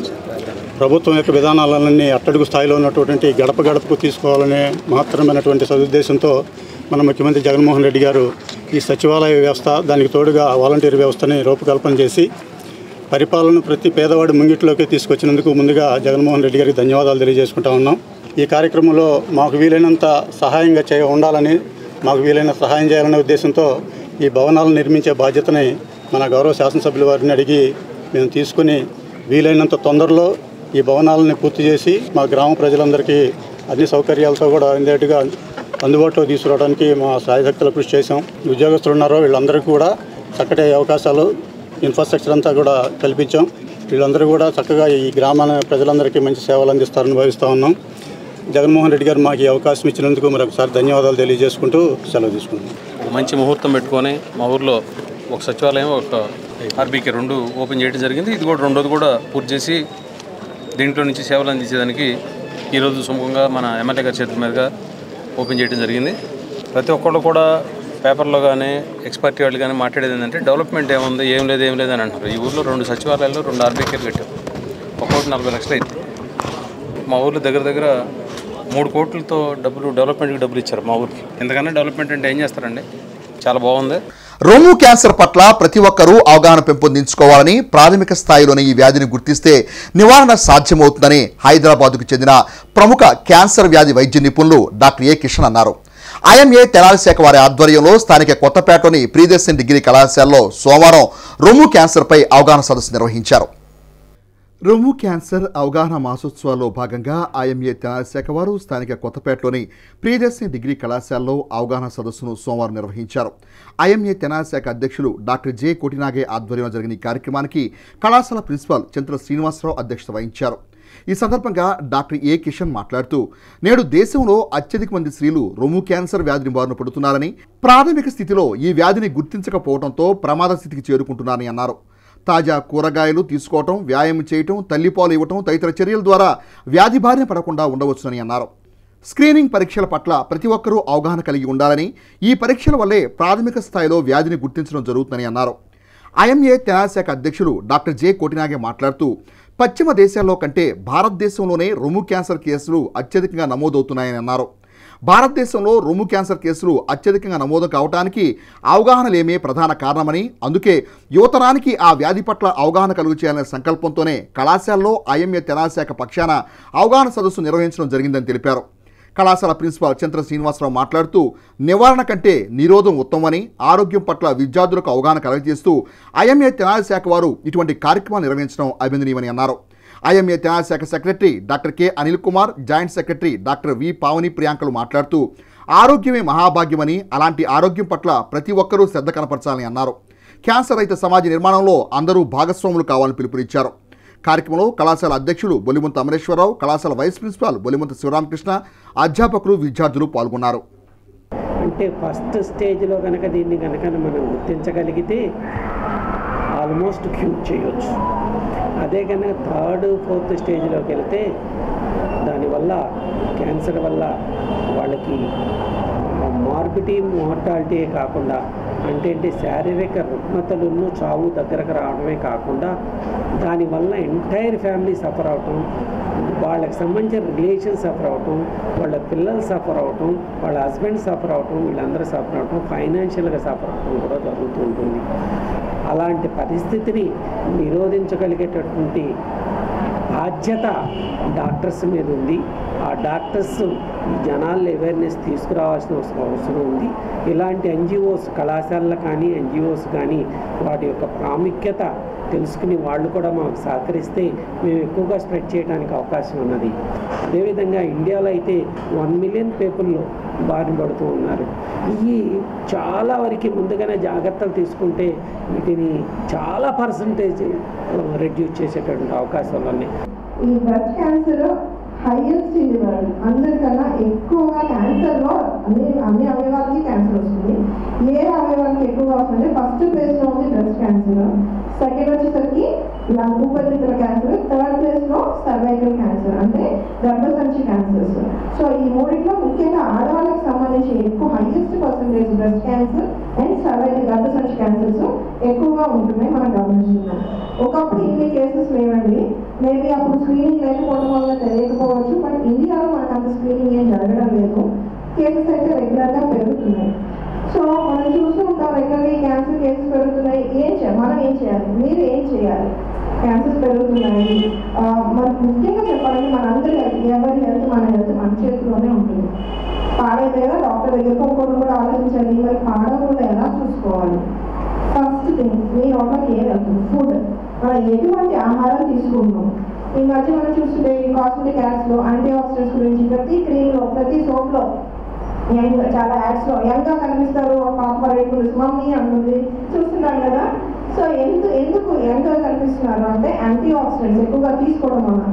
సర్ఫేస్ మీద మనం టాపికల్ అప్లికేషన్ మన చర్మం మీద రాసుకుంటే ఎక్కువ వెళ్ళాలి యాంటీ ఆక్సిడెంట్స్ లోపలికి చెప్తుంటారు కానీ ఆ కాస్మెటిక్ ప్రొడక్ట్స్ అన్నిటికన్నా ఈ రోజు చక్కగా ఒక పండు ఏదో ఒకటి సిట్రస్ ఫ్రూట్స్ ముఖ్యంగా మనకి లోకల్గా దొరికేది కాస్మెటిక్ ఆర్గానిక్ జాంకాయ యాపిల్ బనానా దానిమ్మ ఇలాంటి ఫ్రూట్స్ పుచ్చకాయ బొప్పాకాయ. మనం ఫ్రూట్స్ చక్కగా రోజు రెండు పూట్ల నాలుగు ముక్కలు ఫ్రూట్స్ తినాలంటే. డెఫినెట్గా సగానికి సగం బ్రెస్ట్ క్యాన్సర్ మనం తగ్గించవచ్చు. అండ్ నేను చెప్పేది కూడా ఇవన్నీ కూడా forty to fifty years breast cancer వచ్చే వాళ్ళ గురించి. సెవెంటీ ఇయర్స్ గురించి నేను మాట్లాడలేదు. అంటే అసలు మనం ఈ లైఫ్ స్టైల్ హ్యాబిట్స్ని మార్చుకుంటే చిన్న వయసులోనే బ్రెస్ట్ క్యాన్సర్ వచ్చేదాన్ని మనం సగానికి సగం తగ్గించుకోవచ్చు. రెండవది ఫ్యాటీ ఫుడ్ ఇంకోటి ఫుడ్లో అంటే ఎక్కువ ఈ ఫ్యాట్ ఉన్న ఎక్కువ పదార్థాలు ఎప్పుడైతే తింటున్నామో మనం ఫైబర్ లేకుండా దీనివల్ల కూడా ఎండోమెట్రియం బ్రెస్ట్ క్యాన్సర్ రిస్క్ చాలా ఎక్కువ అవుతుంది. సో కంపల్సరీగా ఫుడ్ హ్యాబిట్స్ ఒకటి లైఫ్ స్టైల్ ఒకటి అండ్ బ్రెస్ట్ ఫీడింగ్ ఈ మూడింటిని మార్చుకుని అండ్ మనకు తెలిసింది పక్కన వాళ్ళు కూడా చెప్పాలి కంపల్సరీగా ఈ స్కు- ఈ అవేర్నెస్లో చెప్తే forty to fifty percent cancer మనం అరికట్టచ్చు వస్తుంది క్యాన్సర్ రాకుండానే నెక్స్ట్ హెరిడిటరీ. ఇవన్నీ ఆపుకున్నాం. మరి హెరిడిటరీ పరిస్థితి ఏంటి? హెరిడిటరీ అంటే ఇప్పుడు మన అమ్మగారికి కానీ వాళ్ళ అమ్మగారికి కానీ లేదా అత్తకి కానీ వీళ్ళందరికీ ఉంటే ఫస్ట్ డిగ్రీ రిలేటివ్స్ అంటాం వీళ్ళందరినీ. వీళ్ళందరికీ ఉంటే బ్రెస్ట్ క్యాన్సర్ ఎవరికైతే ఉందో వాళ్ళ పిల్లలకి డెఫినెట్గా పది శాతం అంటే ఇప్పుడు సాధారణ జనాభా కన్నా వీళ్ళకి పది శాతం క్యాన్సర్ వచ్చే రిస్క్ ఎక్కువ ఉంటుంది. అండ్ అది కూడా వేరే జనాభా కన్నా వీళ్ళకి వచ్చే క్యాన్సర్ చాలా ఫాస్ట్గా పెరుగుతుంది అనమాట అంటే ఒక క్యాన్సర్ స్టేజ్ ఒకటి నుంచి రెండు కావాలంటే సంవత్సరం పడితే మామూలు జనాలకి ఈ హెరిడిటరీ క్యాన్సర్లో వన్ టూ మంత్స్లోనే స్టేజ్ పెరిగిపోతుంది.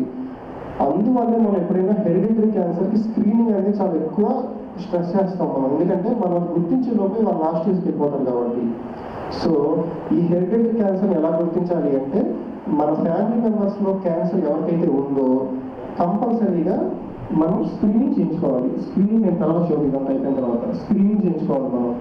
అక్టోబర్ మాసం ఏదైతే ఉందో ఈ అక్టోబర్ మాసా మాసం అనేది బ్రెస్ట్ క్యాన్సర్ అవేర్నెస్ మాసంగా దాన్ని నిర్ణయించి ఆ సందర్భంగా మరి తెనాలి ఐఎంఏ శాఖ తరఫున దీనికి సంబంధించి రకరకాల అవేర్నెస్ ప్రోగ్రామ్స్ కండక్ట్ చేస్తూ ఈరోజు తెనాలి ప్రియదర్శన్ డిగ్రీ కళాశాలలో మరి ఈరోజు అవేర్నెస్ కార్యక్రమం ఇచ్చే ఏర్పాటు చేయడం జరిగింది. మరి ఈ కార్యక్రమానికి విచ్చేసినటువంటి తెనాలి ఐఎంఏ శాఖ అధ్యక్షులు డాక్టర్ జే కోట్నాయ గారికి and secretary doctor Anil Kumar గారికి and joint secretary Priyanka. Madam గారికి. మరి ఈరోజు ఈ బ్రెస్ట్ క్యాన్సర్ అవేర్నెస్ ప్రోగ్రాంకి సంబంధించి మరి surgical oncology specialist doctor A Kishan గారు ఎందుకంటే తమ అమూల్యమైన సందేశాన్ని వినిపిస్తూ మరి ఒక మంచి కార్యక్రమాన్ని మా కళాశాలలో నిర్వహించినందుకు మా కళాశాల తరఫున విద్యార్థిని విద్యార్థులు అధ్యాపకులు మరియు మేనేజ్మెంట్ తరఫున ఈ ఐఎంఏ టీం ఏదైతే ఉందో వారికి మరొకసారి మా తరపున ధన్యవాదాలు తెలియజేసుకుంటూ ఉన్నాం. థ్యాంక్ యూ అండి. ఈనాడు ఈ కళాశాల రోగిలోకి విచ్చేసి మనల్ని విజ్ఞానవంతులు చేసి అవగాహన పొందించేటువంటి ఐఎంఏ సభ్యులు వారందరికీ మరొకసారి హృదయపూర్వకంగా ధన్యవాదాలు తెలియజేసుకున్నాం ఐఎంఏ టీం ఏదైతే ఉందో అది ఆ టీం నెంబర్లో మరొకసారి హ్యాట్రిక్ కొట్టాలని అని వాళ్ళు మూడు సంవత్సరాలు కూడా వీళ్ళు మన కంపెనీలో కొనసాగాలని త్రిపుడు హ్యాట్రిక్ కూడా కొట్టాలని చెప్పి మనస్ఫూర్తిగా ఎందుకంటే పిల్లలు దేవుడితో సమానం వాళ్ళు కోరుకుని తప్పనిసరిగా ఏదైతే జరుగుతుంది కాబట్టి మా పిల్లలందరి పక్షాన మీరు త్రిపుడు హ్యాట్రిక్తో మళ్ళీ మరి మళ్ళీ మూడు సంవత్సరాలు కూడా మీరే ఐఎంఏ కమిటీలో సభ్యులుగా కొనసాగాలని చెప్పి మనస్ఫూర్తిగా మా కళాశాల విద్యా రోజు తరపున మేము మనస్ఫూర్తిగా కోరుకుంటున్నాం. ఈ యొక్క రొమ్ము క్యాన్సర్ పట్ల అవగాహన కలగజేసేటువంటి కిషన్ గారికి కూడా మరి ముఖ్యంగా మా కళాశాల మేనేజ్మెంట్ తరఫున విద్యార్థుల తరఫున మరొక హృదయపూర్వక ధన్యవాదాలు తెలియజేసుకుంటున్నాం. తెనాలి మారీస్పేటలోని కాంగ్రెస్ పార్టీ కార్యాలయంలో తెనాలి నియోజకవర్గ Congress party incharge doctor Chandu Sambasivudu ఆధ్వర్యంలో భారత మాజీ ప్రధాని స్వర్గీయ ఇందిరాగాంధీ వర్ధంతిని సోమవారం ఘనంగా నిర్వహించారు. దేశానికి ఇందిర చేసిన సేవలను ఈ సందర్భంగా నాయకులు స్మరించుకున్నారు. ముందుగా స్వర్గీయ ఇందిరాగాంధీ చిత్రపటానికి కాంగ్రెస్ పార్టీ నేతలు పూలమాలు వేసి ధన్యవాదాలర్పించారు అనంతరం కాంగ్రెస్ పార్టీ నియోజకవర్గ ఇన్ఛార్జ్ డాక్టర్ చందు సాంబశివుడు మాట్లాడుతూ భారతదేశ తొలి మహిళా ప్రధానమంత్రిగా సేవలందించిన స్వర్గీయ ఇందిరాగాంధీ దేశంలో అనేక సంక్షేమ పథకాలు ప్రవేశపెట్టిన గొప్ప వ్యక్తిని ప్రశంసించారు. పేద బడుగు బలహీన వర్గాల అభ్యున్నతికి ఆమె చేసిన కృషి ఎనలేదని కొనియాడారు. ప్రజల హృదయాల్లో చిరస్థాయిగా నిలిచిన ఆమె రాజకీయ నేతలకు మహిళలకు ఆదర్శంగా నిలిచారని అన్నారు. కార్యక్రమంలో తెనాలి పట్టణ మండల పార్టీ అధ్యక్షులు పొన్నూరు నాగసూరి శశిధర్రావు కె బుల్లయ్య నాయకులు P Sivakumar Shaik Mabu T Sivanarayana R Elmanda Satyanarayana Steven Babu Y Sankararao A Krishna S Subbarao B Srinu N Mallikarjunarao K Koteswararao తదితరులు పాల్గొన్నారు. ఇదే రోజు పంతొమ్మిది వందల ఎనభై నాలుగు అక్టోబర్ ముప్పై ఒకటి రమారమి ఈ సమయంలోనే టెన్ థర్టీ ఎస్. టెన్ థర్టీ లెవెన్ ఓ క్లాక్లో తన యొక్క అంగరక్షకుల చేత ఒక ఇంటర్వ్యూ వెళ్ళటానికి తన నివాసం నుంచి బయటికి వెళ్తూ ఉన్నప్పుడు తన నివాస ప్రాంగణంలోనే తన అంగరక్షకుల చేత లాన్ చేత విపరీతంగా కాల్చబడినటువంటి వ్యక్తి మాజీ ప్రధాని శ్రీమతి ఇందిరాగాంధీ గారు.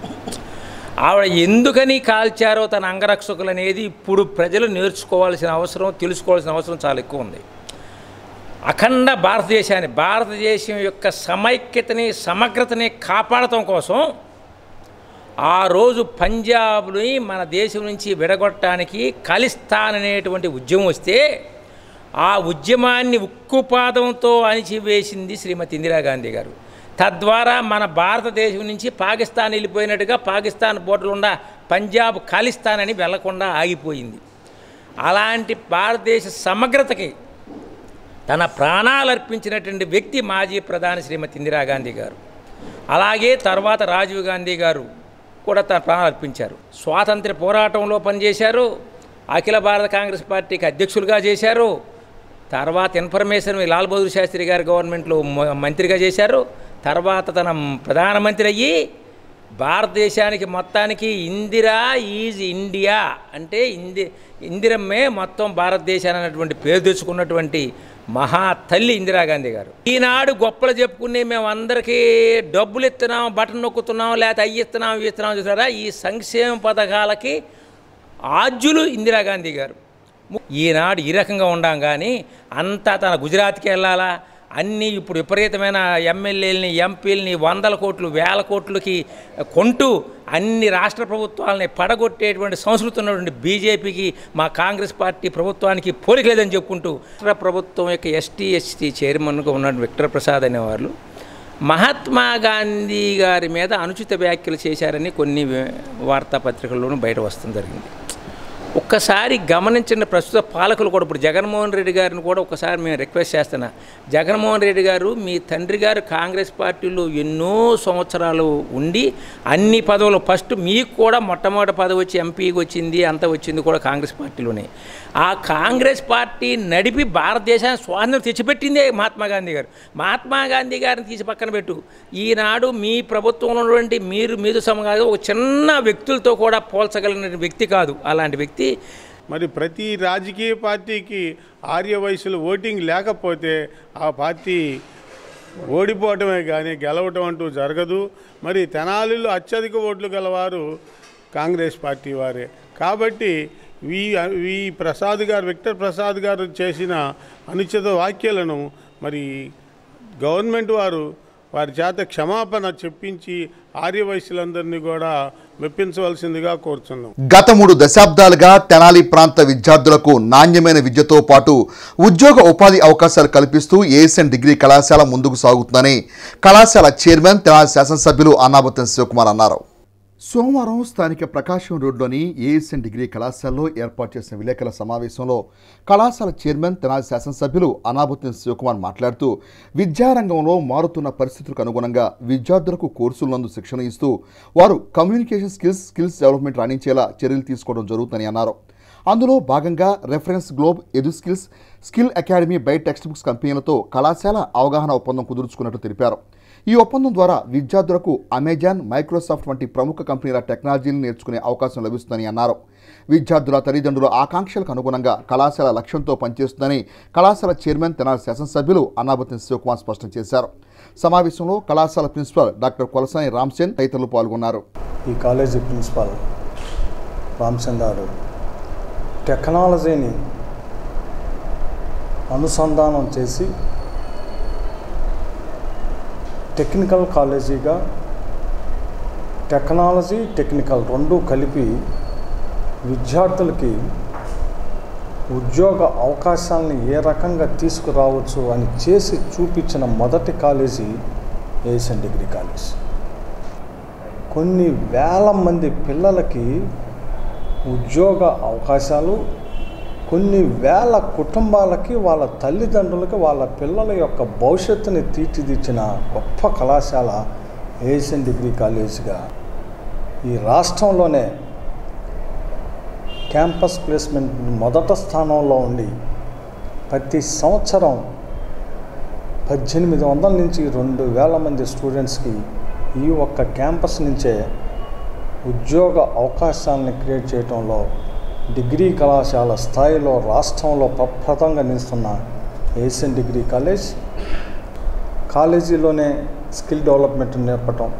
ప్రభుత్వం నుంచి వచ్చిన కొత్త కోర్సుల్ని యూనివర్సిటీ తీసుకొస్తున్న కొత్త కోర్సుల్ని కాలేజీలో స్టార్ట్ చేసి ఆ కోర్సుల ద్వారా కేవలం యూనివర్సిటీ సిలబస్సే కాకుండా స్టూడెంట్స్కి కమ్యూనికేషన్ స్కిల్స్ మీద స్కిల్ డెవలప్మెంట్ మీద ప్రిన్సిపల్ రామచంద్ర గారు స్వయ పర్యవేక్షణలో ముప్పై ఐదు సంవత్సరాలు అవిరాల కృషి కొన్ని వేల మంది విద్యార్థులకి ఉద్యోగ భద్రత ఉద్యోగ అవకాశం వాళ్ళ జీవితంలో ఒక స్థిరత్వాన్ని తీసుకొచ్చాం.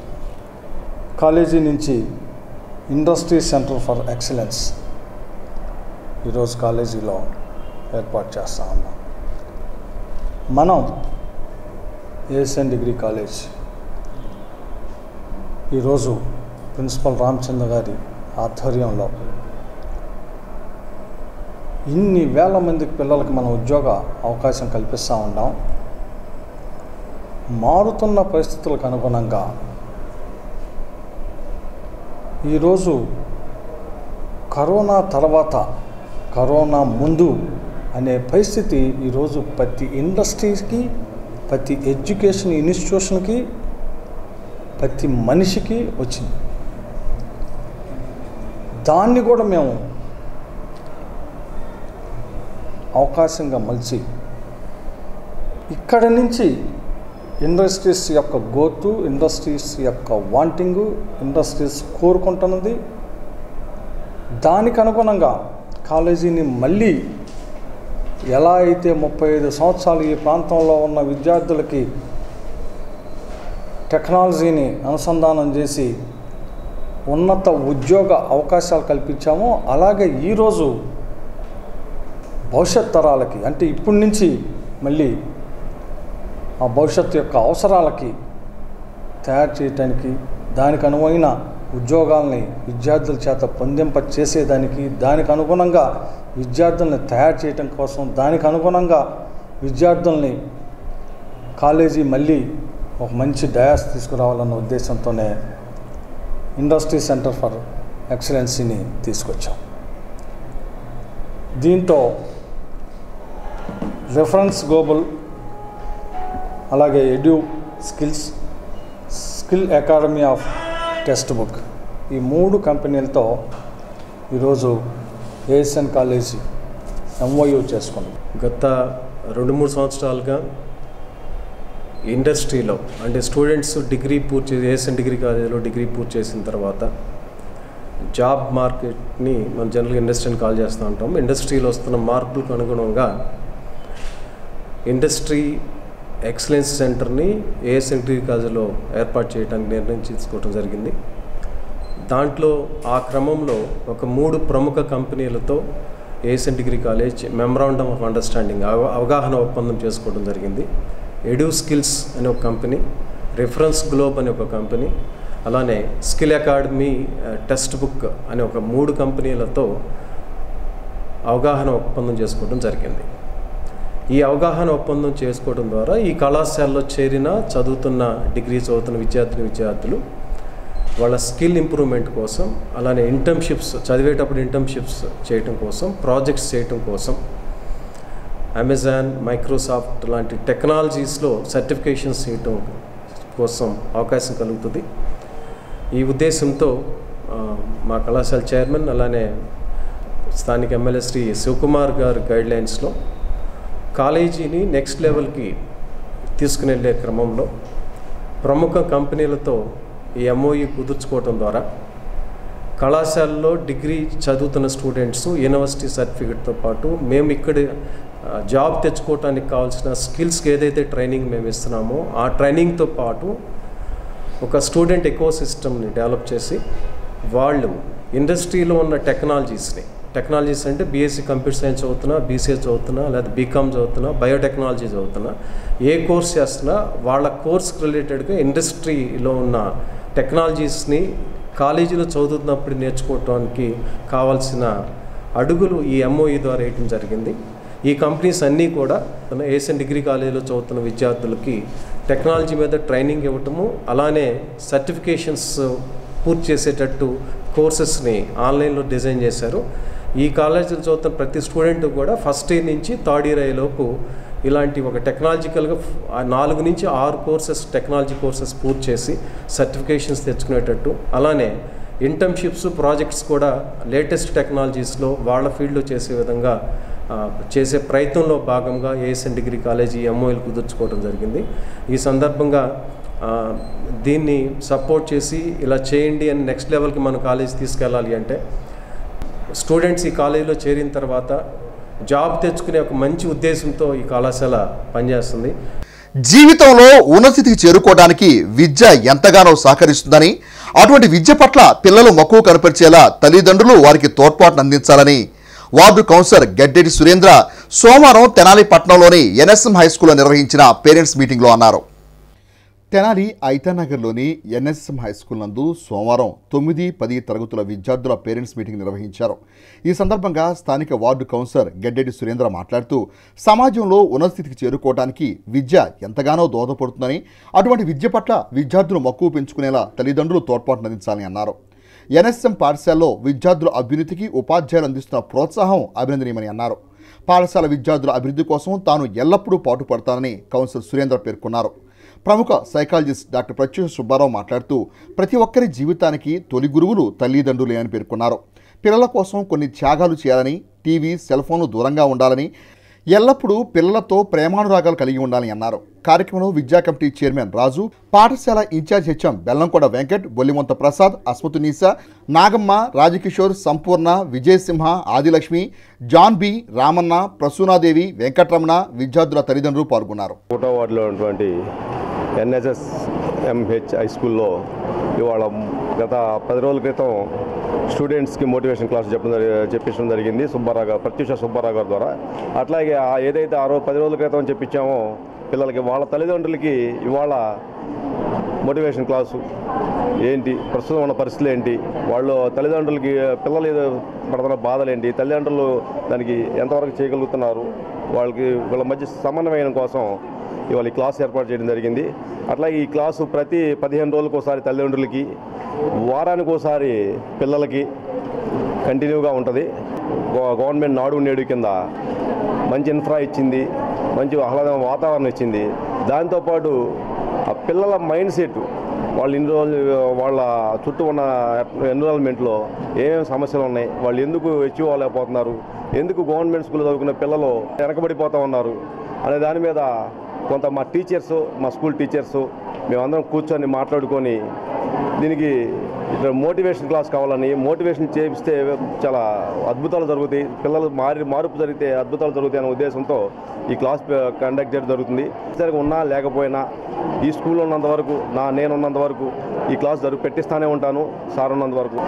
మంచి సమాజం మంచి విద్యా వ్యవస్థ ఉంది మంచి ఇన్ఫ్రా ఉంది మంచి సమాజం మంచి పిల్లలు మంచి తల్లిదండ్రులు. వాతావరణం కోసం మంచి వాతావరణం కోసం ప్రయత్నం జరుగుతూ ఉంది. ఈ ప్రయత్నంలో ఈ స్కూల్కి చాలాసార్లు పేరెంట్స్ మీటింగ్ పెట్టాం. కానీ ఇంత స్థాయిలో ఇంతమంది పేరెంట్స్ రావటం ఎప్పుడు జరగల. ఇవాళ దరిదాపుగా నూట యాభై మంది దాకా పేరెంట్స్ వచ్చి ఉన్నారు. తెనాలి ఐతానగర్లో ఎన్ఎస్ఎస్ఎం హై స్కూల్లో తల్లిదండ్రుల సమావేశం. తొమ్మిదో తరగతి పదో తరగతి చదువుతున్నటువంటి పిల్లల తల్లిదండ్రుల సమావేశం నిర్వహించడం జరిగింది. పిల్లల్లో వస్తున్నటువంటి మార్పులు పిల్లల్ని శక్తివంతంగా ఎలా మార్చాలి? ఒక విషయం ఏంటంటే ఇవాళ ప్రపంచ మేధావులు తేల్చినటువంటి ఏకైక అంశం ఏంటంటే పిల్లలు చాలా శక్తివంతులు. పిల్లలు ఏ పనైనా చేయగలరు.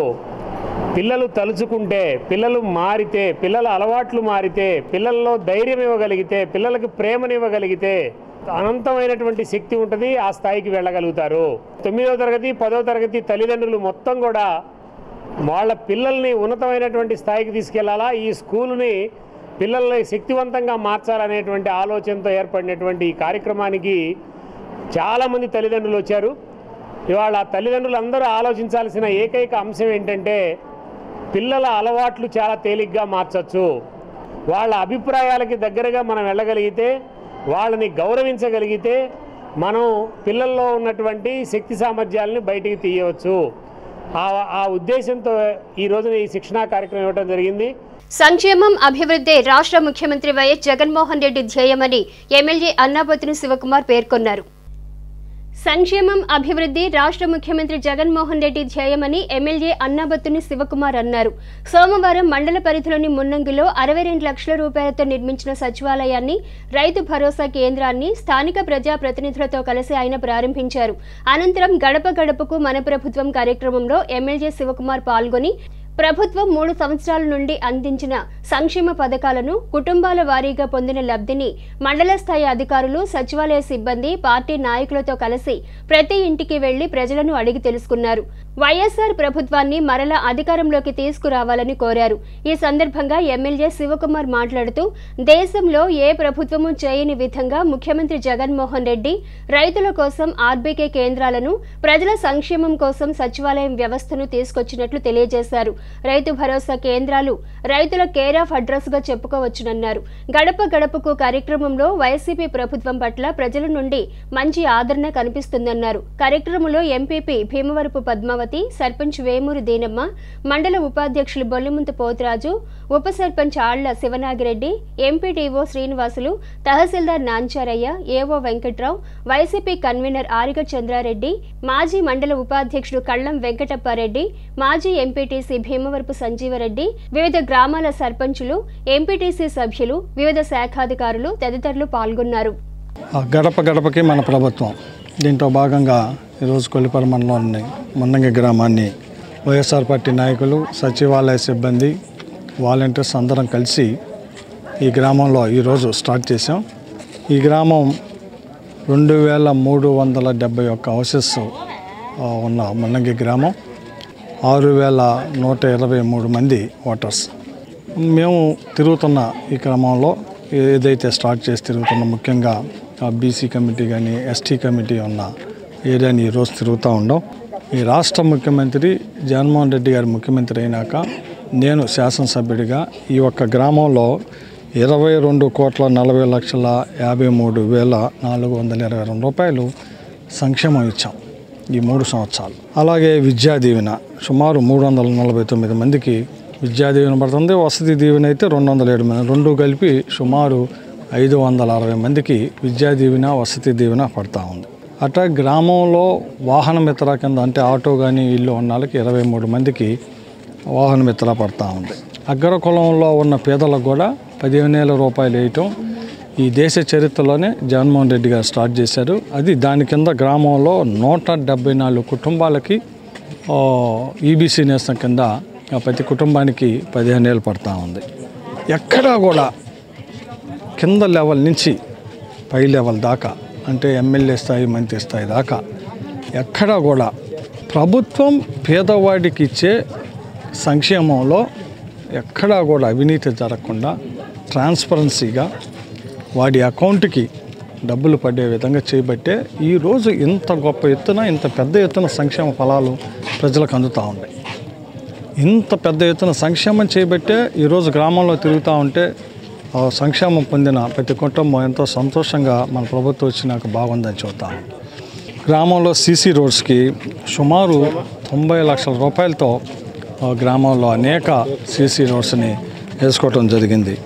అలాగే హిందూ శ్మశాన వాటి అభివృద్ధి కోసం మరి పెద్దలు అయోధ్య రామరెడ్డి గారు ఆయన అడగటం గ్రామంలోని పెద్దలు అందరూ అడగటం అలాగే నేను కూడా మాట్లాడటం జరిగింది. దానికి ముప్పై లక్షల రూపాయలని ఆయన శాంక్షన్ చేయటం. అలాగే జయదేవ్ గారు పది లక్షల రూపాయలని మొన్నగి గ్రామానికి ఇచ్చిన దానికి కూడా నేను ఎంతో సంతోషం ధన్యవాదాలు చెప్పుకుంటా ఉన్నాను. లోక్సభ సభ్యులుగా ఆయన మొత్తం ఆన్ అండ్ యావరేజ్న పదిహేను లక్షల రూపాయలని తినాలి తెనాలి అసెంబ్లీ నియోజకవర్గంలో ఇచ్చారు. మున్నంగి గ్రామానికి పది లక్షలు ఇచ్చినందుకు కూడా ధన్యవాదాలు చెబుతూ ఉన్నాను. ఈరోజు గడప గడప మన ప్రభుత్వ కార్యక్రమంలో ఏదైతే ప్రజలు ఇచ్చే గ్రీవెన్స్ ఉందో ఆ గ్రీవెన్స్ను కూడా రాబోయే రోజుల్లో సచివాలయానికి వచ్చే ఇరవై లక్షల రూపాయలతో వాటిని ఇంకా ఎడిషనల్గా ఉంటే మండల నిధుల నుంచి చేస్తామని చెప్పి సందర్భంగా మనం చేస్తాం. ఈరోజు మున్నంగి గ్రామంలో ప్రతి గడపకు వెళ్ళి ప్రభుత్వం యొక్క సంక్షేమ పథకాలు కానీ అభివృద్ధి ఫలాలు కానీ పారదర్శకంగా ప్రతి ఒక్కరికి అర్హత ఉన్న ప్రతి ఒక్కరికి అందుతున్నాయా లేదా తెలుసుకొని ఒకవేళ ఎక్కడైనా చిన్న చిన్న లోపాలు ఉన్నట్టే వెంటనే సర్దుబాటు చేసుకుని వాటిని కూడా ప్రభుత్వ సంక్షేమ పథకాలు ఏమైతే ఉన్నాయో అవన్నీ కూడా పారదర్శకంగా ప్రతి అర్హత ఉన్న ప్రతి పౌరుడికి చేరే విధంగా మన గౌరవ ముఖ్యమంత్రి జగన్మోహన్ రెడ్డి గారు ఏర్పాటు చేసిన ఈ కార్యక్రమాన్ని ఈరోజు మన శాసనసభ్యులు అన్నాబతుని శివకుమార్ గారు వచ్చి ఈ గడప గడప తిరిగి తెలుసుకుంటా ఉన్నారు. దాదాపుగా ఇంత గొప్పగా పనిచేస్తున్నటువంటి ప్రభుత్వానికి ప్రజలందరూ కూడా ధన్యవాదాలు తెలియజేస్తూ ఉన్నారు. మున్నంగి గ్రామంలో పర్యటిస్తున్న గడప గడప కార్యక్రమంలో పర్యటిస్తున్న అన్నాబద్ద శివ గారికి ముందు కృతజ్ఞతలు తెలియజేస్తున్నాం. అందరికి అందరిలోకి వెళ్తున్నామండి. అందరూ తృప్తిగా అందరూ బాగా మాకు అర్హత మేరకు పథకాలన్నీ వస్తున్నాయని చెప్తున్నారు. అందరూ సంతోషంగా ఉన్నారు. మరొకసారి శివకుమార్ గారిని ఎమ్మెల్యే గెలిపించడానికి అందరూ సిద్ధంగా ఉన్నారు. గడప గడపకి మన ప్రభుత్వంలో భాగంగా ఈరోజు మున్నంగి గ్రామంలో పర్యటించడం జరుగుతూ ఉంది ముందుగా సచివాలయం ఆర్బీకి రెండు ఓపెన్ చేయడం జరిగింది ఈరోజు. సచివాలయం సేవలు కానీ అన్నీ చాలా బాగున్నాయి. మరీ ముఖ్యంగా ఈరోజు తిరిగే దాంట్లో ఒక వంద నుంచి నూట యాభై ఇళ్ళు వరకు ఇప్పుడు తిరగడం జరిగింది. ఇంతమట్టుకు ఏది ఒక సమస్య కూడా రాలేదు. వచ్చిన ఏదో చిన్న చిన్న అంటే ఏదో కార్డు రాలేదని అడిగితే ఈ డిసెంబర్కి అట్లా వస్తాయని అన్ని పేపర్ వర్క్ అయితే అయిపోయింది. పెన్షన్లు ఇచ్చేది కూడా ఆరు నెలలకు ఒకసారి రెన్యూల్ చేస్తారు కాబట్టి ఆ డిసెంబర్లో అయితే అని చెప్పారు అవి కూడా. చాలా బాగుంది. అందరూ అయితే చాలా సంతోషంగా ఉన్నారు. కానీ చాలా ధైర్యంగా మళ్ళీ ఈ కార్యక్రమం పెట్టారంటే అందరిళ్ళకి వెళ్ళి నీకేంది నీ సమస్య ఏందని అడిగి అడిగి అడిగి మరి ఏమి లేకపోయినా వాళ్ళు మాట్లాడపోయినా కానీ అడిగి తెలుసుకోవాల్సి వస్తుంది ఇలా. ఇంకేముంది మీకు ఇంకేమైనా రావాలని ఎవరు ఏం అడిగినా కానీ అంత బాగుందనే చెప్తున్నారు చాలా బాగుంది. గవర్నమెంట్ చాలా బాగా బాగా చేస్తుంది. మా శివకుమార్ గారు కూడా చాలా బాగా అందరినీ రిసీవ్ చేసుకోవడం కానీ మాట్లాడటం కానీ ఏదైనా పని అడిగితే చేసి పెట్టడం కానీ చాలా బాగా చేసి పెడుతున్నారు. తెనాలి ఎంపీపీ చెన్నుబోయిన శ్రీనివాసరావు జన్మదిన వేడుకలు చెన్నుబోయిన శ్రీనివాసరావు ఆత్మీయుల సమక్షంలో నిర్వహించారు. తెనాలి ఎంపీపీ చెన్నుబోయిన శ్రీనివాసరావు జన్మదిన వేడుకలు చెన్నుబోయిన శ్రీనివాసరావు ఆత్మీయుల సమక్షంలో నిర్వహించారు. తెనాలి మండల అభివృద్ధి కార్యాలయంలో జరిగిన జన్మదిన వేడుకలలో ఎంపీపీ చెన్నుబోయిన శ్రీనివాసరావుతో కేక్ను కట్ చేయించి అభినందనలు తెలిపారు. తెనాలి మండల జెడ్పీటీసీ సభ్యురాలు పిల్లి ఉమా ప్రణతి ఎంపీపీ చెన్నుబోయిన శ్రీనివాసరావు మరిన్ని ఉన్నత పదవులు అధిరోహించి వైఎస్ఆర్సీపీ పార్టీ పురోగాభివృద్ధికి కృషి చేయాలని కోరారు. బీసీ సంఘ నాయకులు క్రాంతికుమార్ కోలవాసు తెనాలి మండల వైఎస్ఆర్సీపీ నాయకులు పాల్గొన్నారు. ఈరోజు తెనాలి మండల ప్రజా పరిషత్ కార్యాలయంలోనే తెనాలి ఎంపీపీగా ఉన్నటువంటి నన్ను జన్మదిన వేడుకలు ఫ్రెండ్స్ కానీ మా తోటి ఎంపీటీసీ సోదరులు సోదరి జెడ్పీటీసీ పిల్లు మా ప్రణితి గారు కానీ మా తోటి మిత్రులు అందరూ కూడా వైఎస్ఆర్ కుటుంబ సభ్యులందరూ కూడా వచ్చి కేక్ కటింగ్ చేయించుకొని ఇక్కడ జన్మదిన శుభాకాంక్షలు తెలియజేయటం జరిగింది. అందులో భాగంగానే తెనాలి గౌరవ శాసనసభ్యులు శివకుమార్ గారి ఆశీస్సులతో జగన్మోహన్ రెడ్డి గారి సారథ్యంలో ఈ తెనాలి మండలానికి ఒక ఎంపీపీగా ఎన్నికైనందుకు ముందుగా తెనాలి మండలానికి ప్రజానికాన్ని అందరికీ కూడా హృదయపూర్వక అభినందనలు తెలియజేసుకుంటున్నాను నిజంగా రాజకీయాల్లోకి ఒక ఉన్నత విద్యావంతుడిగా అడుగుపెట్టి మరి ప్రజాసేవ కోసం ఎమ్మెల్యే గారి ఆశీస్సులతో తెనాలి మండలానికి ఒక ఎంపీపీని చేశారు. నిజంగా వైఎస్ఆర్ కాంగ్రెస్ పార్టీలో సామాన్య కార్యకర్తలకి న్యాయం జరిగిందంటే ఒక్క వైఎస్ఆర్ కాంగ్రెస్ పార్టీ అని కూడా ఈ సందర్భంగా తెలియజేసుకుంటూ నిజంగా తెనాలి గౌరవ శాసనసభ్యులు అన్నాబత్తుని శివకుమార్ గారు ప్రత్యేకంగా వాళ్ళ కుటుంబానికి కూడా హృదయపూర్వక అభినందనలు తెలియజేసుకుంటూ జగన్మోహన్ రెడ్డి గారి సారథ్యంలో అన్నాబత్తుని శివకుమార్ గారి ఆశీస్సులతో తెనాలి మండలాన్ని ఇంకా రానున్న రోజుల్లో అభివృద్ధి పదంలో నడిపిస్తామని కూడా ఈ సందర్భంగా తెలియజేస్తూ ప్రజలందరికీ వైఎస్ఆర్ కుటుంబ సభ్యులందరికీ ఎంపీటీసీలకి తోటి సోదరులు సర్పంచులకి వార్డు మెంబర్లకి కౌన్సిలర్లకి అందరికీ అందుబాటులో ఉండి రానున్న రోజుల్లో పార్టీని బలోపేతానికి కూడా మరింత కృషి చేస్తామని కూడా ఈ సందర్భంగా తెలియజేస్తూ ఈరోజు తెనాలి మండలం ఎంపీపీ శ్రీనివాస్ గారి పుట్టినరోజు జన్మదిన వేడుకలు ఇక్కడ మండల పరిషత్లో ఘనంగా జరుపుకోవడం జరిగింది. ఒక మంచి వ్యక్తి రాజకీయాల్లోకి వస్తే ఎంతో బాగుంటుంది. అట్లాంటి వ్యక్తి శ్రీను గారు కాబట్టి ఇట్లాంటి పుట్టినరోజులు మరెన్నో జరుపుకోవాలని ఇంకా ప్రజలకు ఎంతో సహాయపడాలని కోరుకుంటూ మా బీసీ నాయకులు తెనాలి మండల మండల అధ్యక్షులు శ్రీ చెన్నుపోయిన శ్రీనివాసరావు గారి పుట్టినరోజు సందర్భంగా శుభాకాంక్షలు తెలవడం తెలపడం జరిగింది. ఎప్పుడు కూడా ఏ టైంలో ఫోన్ చేసినా ఏ అవసరం ఉన్నా తప్పనిసరిగా స్పందించే చెన్నుపోయిన శ్రీని గారు భవిష్యత్తులో మరెన్నో ఉన్నతమైన పదవులు అధిరోహించాలని మనస్ఫూర్తిగా కోరుకుంటూ ఈ సందర్భంగా పుట్టినరోజు శుభాకాంక్షలు తెలియజేయండి. ఇట్లాంటి జన్మదిన శుభాకాంక్షలు మరి ఎన్నో జరుపుకుంటూ ప్రతి ఒక్కరు పేదవాళ్ళకి ఎంతో అండగా నిలుస్తారు అన్నగారు. ఇట్లా అలాగే అన్నగారు జన్మదిన శుభాకాంక్షలు జరుపుకోవాలని మనస్ఫూర్తిగా కోరుకుంటున్నాను పిలవగానే అన్న అనగానే నేనున్నాను సోదరా అని చెప్పని మంచి మనిషి మండల ఎంపీపీ గారు చెన్నుబోయిన శ్రీనివాసరావు గారిది జన్మదిన శుభాకాంక్షలు తెలుపుకుంటూ అన్న పార్టీలో ఎంతో కష్టపడి అందరిని కలుపుకుని పోయే నాయకుడు మరి తెలుగుదేశం పార్టీ అయినటువంటి గుడివాడను కూడా ఆ కోటను బద్దలు కొట్టి అందరితో ప్రేమానురాగాలు పంచి మరి అందరిని అన్న అన్నంట పిలుచుకుంటూ అందరిని కలుపుకుంటూ మరి అన్న ఈ మండల అధ్యక్షునిగా పరిపాలన అందిస్తున్నాడు. మరిన్ని పదవులు అధిరోహించాలని అన్న పుట్టినరోజు శుభాకాంక్షలు తెలియజేసుకుంటూ సెలవు తీసుకుంటాం తెనాలి పురపాలక సంఘ పదిహేనవ వార్డు కౌన్సిలర్ తెనాలి పురపాలక సంఘ వైస్ చైర్మన్ గుంటూరు కోటేశ్వరరావు. సోమవారం తెనాలి పురపాలక సంఘ కౌన్సిల్ హాల్లో నిర్వహించిన మున్సిపల్ కౌన్సిల్ సాధారణ సమావేశానికి చైర్మన్ హోదాలో బాధ్యతలు చేపట్టి సమావేశం నిర్వహించారు. తొలుత తెనాలి పట్టణంలోని పదిహేనవ వార్డు నుండి గుంటూరు కోటేశ్వరాను వైఎస్ఆర్ కాంగ్రెస్ పార్టీ నేతలు స్థానికులు మున్సిపల్ కార్యాలయానికి భారీ ర్యాలీతో తోడ్కొని వచ్చారు. చైర్మన్ బాధ్యతలు చేపట్టిన ఆయనకు municipal vice chairman Malepati Hariprasad పలువురు అధికార ప్రతిపక్ష కౌన్సిల్ సభ్యులు అధికారులు పలు సంఘాల నాయకులు వైఎస్ఆర్ కాంగ్రెస్ పార్టీ నేతలు గజమాలతోనూ శాలువాలతోనూ సత్కరించి శుభాకాంక్షలు తెలిపారు. తమకు ఈ అవకాశాన్ని ఇచ్చిన తెనా శాసనసభ్యులు అన్నాబత్తిన శివకుమార్కు కౌన్సిల్ సభ్యులకు గుంటూరు కోటేశ్వరరావు ధన్యవాదాలు తెలిపారు. శకపురుషుని శతజయంతి మహోత్సవాల సందర్భంగా మాజీ మంత్రి ఆలపాడి రాజేంద్ర ప్రసాద్ ఆధ్వర్యంలో తెనాలి పట్టణంలోని పెమ్మసాన్ థియేటర్ నందు విశ్వవిఖ్యాత నట సార్వభౌమ అన్న నందమూరి తారక రామారావు నటించిన చిత్రాలు సంవత్సర కాలం పాటు రోజుకు ఒక చిత్రాన్ని ఉచితంగా ప్రదర్శిస్తున్న నేపథ్యాన్ని పురస్కరించుకొని సోమవారం జగదేక వీరుని కథ చిత్రాన్ని ప్రదర్శించారు. అట్లే ప్రముఖ సీనియర్ కళాకారులు శ్రీనివాస నాయకును ఉత్సవ కమిటీ సభ్యులు ఘనంగా సత్కరించారు.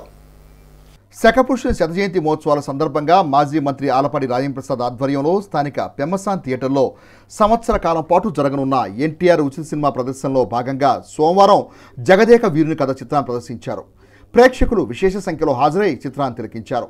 శత జయంతి సత్కారాల పండుగ కార్యక్రమంలో భాగంగా ప్రముఖ సీనియర్ కళాకారులు శ్రీనివాస నాయక్ను శత జయంతి ఉత్సవ కమిటీ సభ్యులు తెలుగుదేశం పార్టీ నాయకులు ఘనంగా సత్కరించారు. ఈ సందర్భంగా నాయకులు మాట్లాడుతూ మాజీ మంత్రి తెలుగుదేశం పార్టీ సీనియర్ నేత ఆలపాటి రాజంప్రసాద్ ఆధ్వర్యంలో ఏడాది పాటు ఎన్టీఆర్ శతజయంతి ఉత్సవాలను తెనాలిపట్నంలో ఘనంగా నిర్వహించుకోవడం సంతోషకరమని అన్నారు. కళాకారునిగా రాజకీయ నాయకునిగా ప్రజల హృదయాల్లో చిరస్మరణీయంగా నిలిచిన మహానేత స్వర్గీయ నందమూరి తారక రామారావు ప్రశంసించారు. సత్కార గ్రహీత మాట్లాడుతూ ఎన్టీఆర్ శతజయంతి ఉత్సవాల్లో తాను ఆయన పేరు మీద ఇచ్చే పురస్కారం అందుకోవడం తన అదృష్టంగా భావిస్తానని అన్నారు. కళారంగానికి ప్రోత్సాహం ఇచ్చేలా శతజయంతి ఉత్సవ కమిటీ సభ్యులు చేపడుతున్న చర్యలు ముదావహమని అన్నారు. కార్యక్రమంలో శతజయంతి ఉత్సవ కమిటీ సభ్యులు తెలుగుదేశం పార్టీ నాయకులు బొందలపాటి శ్రీకాంత్ ఎర్రగుంట్ల మహేష్ బాబు గాలి సుజన కొలకలూరి క్రిష్ యలవర్తి వెంకట్రావు పెమ్మసాని పోతురాజు జానీ భాష సింగారావు ఆయనాల మల్లేశ్వరరావు దేవరపల్లి భవానీ ఏదర శ్రీనివాసరావు ఎన్టీఆర్ జగన్ ముప్పానే రాఘవరావు సోమవరపు సాంబశివరావు గుమ్మడి ప్రసాద్ దేవిశెట్టి భాస్కర్ శ్రీకర్ నల్లూరి శ్రీనివాస్ మందరపు శ్రావణ్ డి శ్రీనివాస్ తదితరులు పాల్గొన్నారు. అందరికీ అందరికీ వందనం అండి. అందరికీ వందనం. ఈరోజు కెనాల్లోని పెంసాని థియేటర్కి వచ్చి స్వర్గీయ నందమూరి తారక రామారావు గారి సెంచినరీ సెలబ్రేషన్స్ వారు ఆ కమిటీ వారు స్క్రీన్ చేస్తున్న ఆ ఆ కమిటీకి ఆలపాటి రాజా గారు మన బుర్రా సాయిమారు గారు నాకు ఇష్టమైన అద్భుతమైన రచయిత. వారి నేతృత్వంలో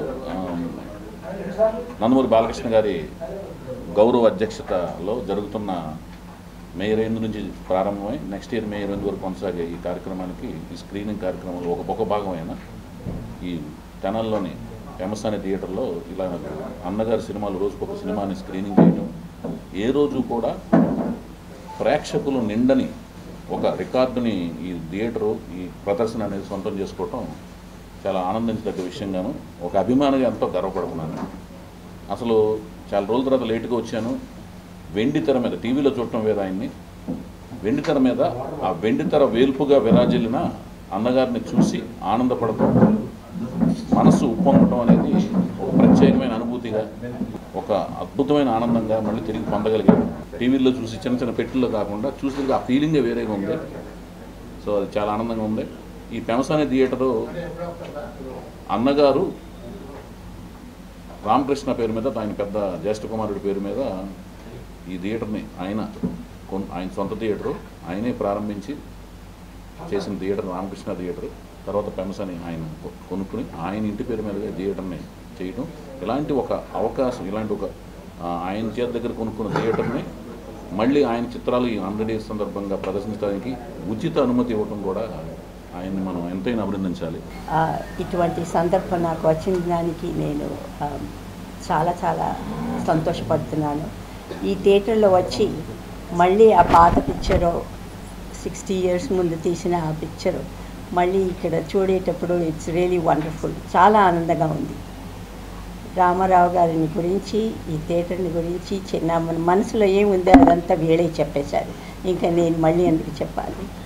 కానీ this this opportunity is tremendous and I would really really like to thank Shri Balakrishna hero Balakrishna Rajendra Prasad garu ఇంకా వీళ్ళందరూ బ- బుర్రా గారు అందరికీ అందరికీ నా ధన్యవాదాలు ఐఎమ్ రియలీ థ్రిల్డ్ ఇన్ని సంవత్సరాల తర్వాత ఇక్కడ వచ్చేటప్పుడు it's really a wonderful wonderful feeling thank you so much L Vijayalakshmi గారితో కూర్చొని సినిమా చూస్తానని నేను ఎప్పుడు అనుకోలేదు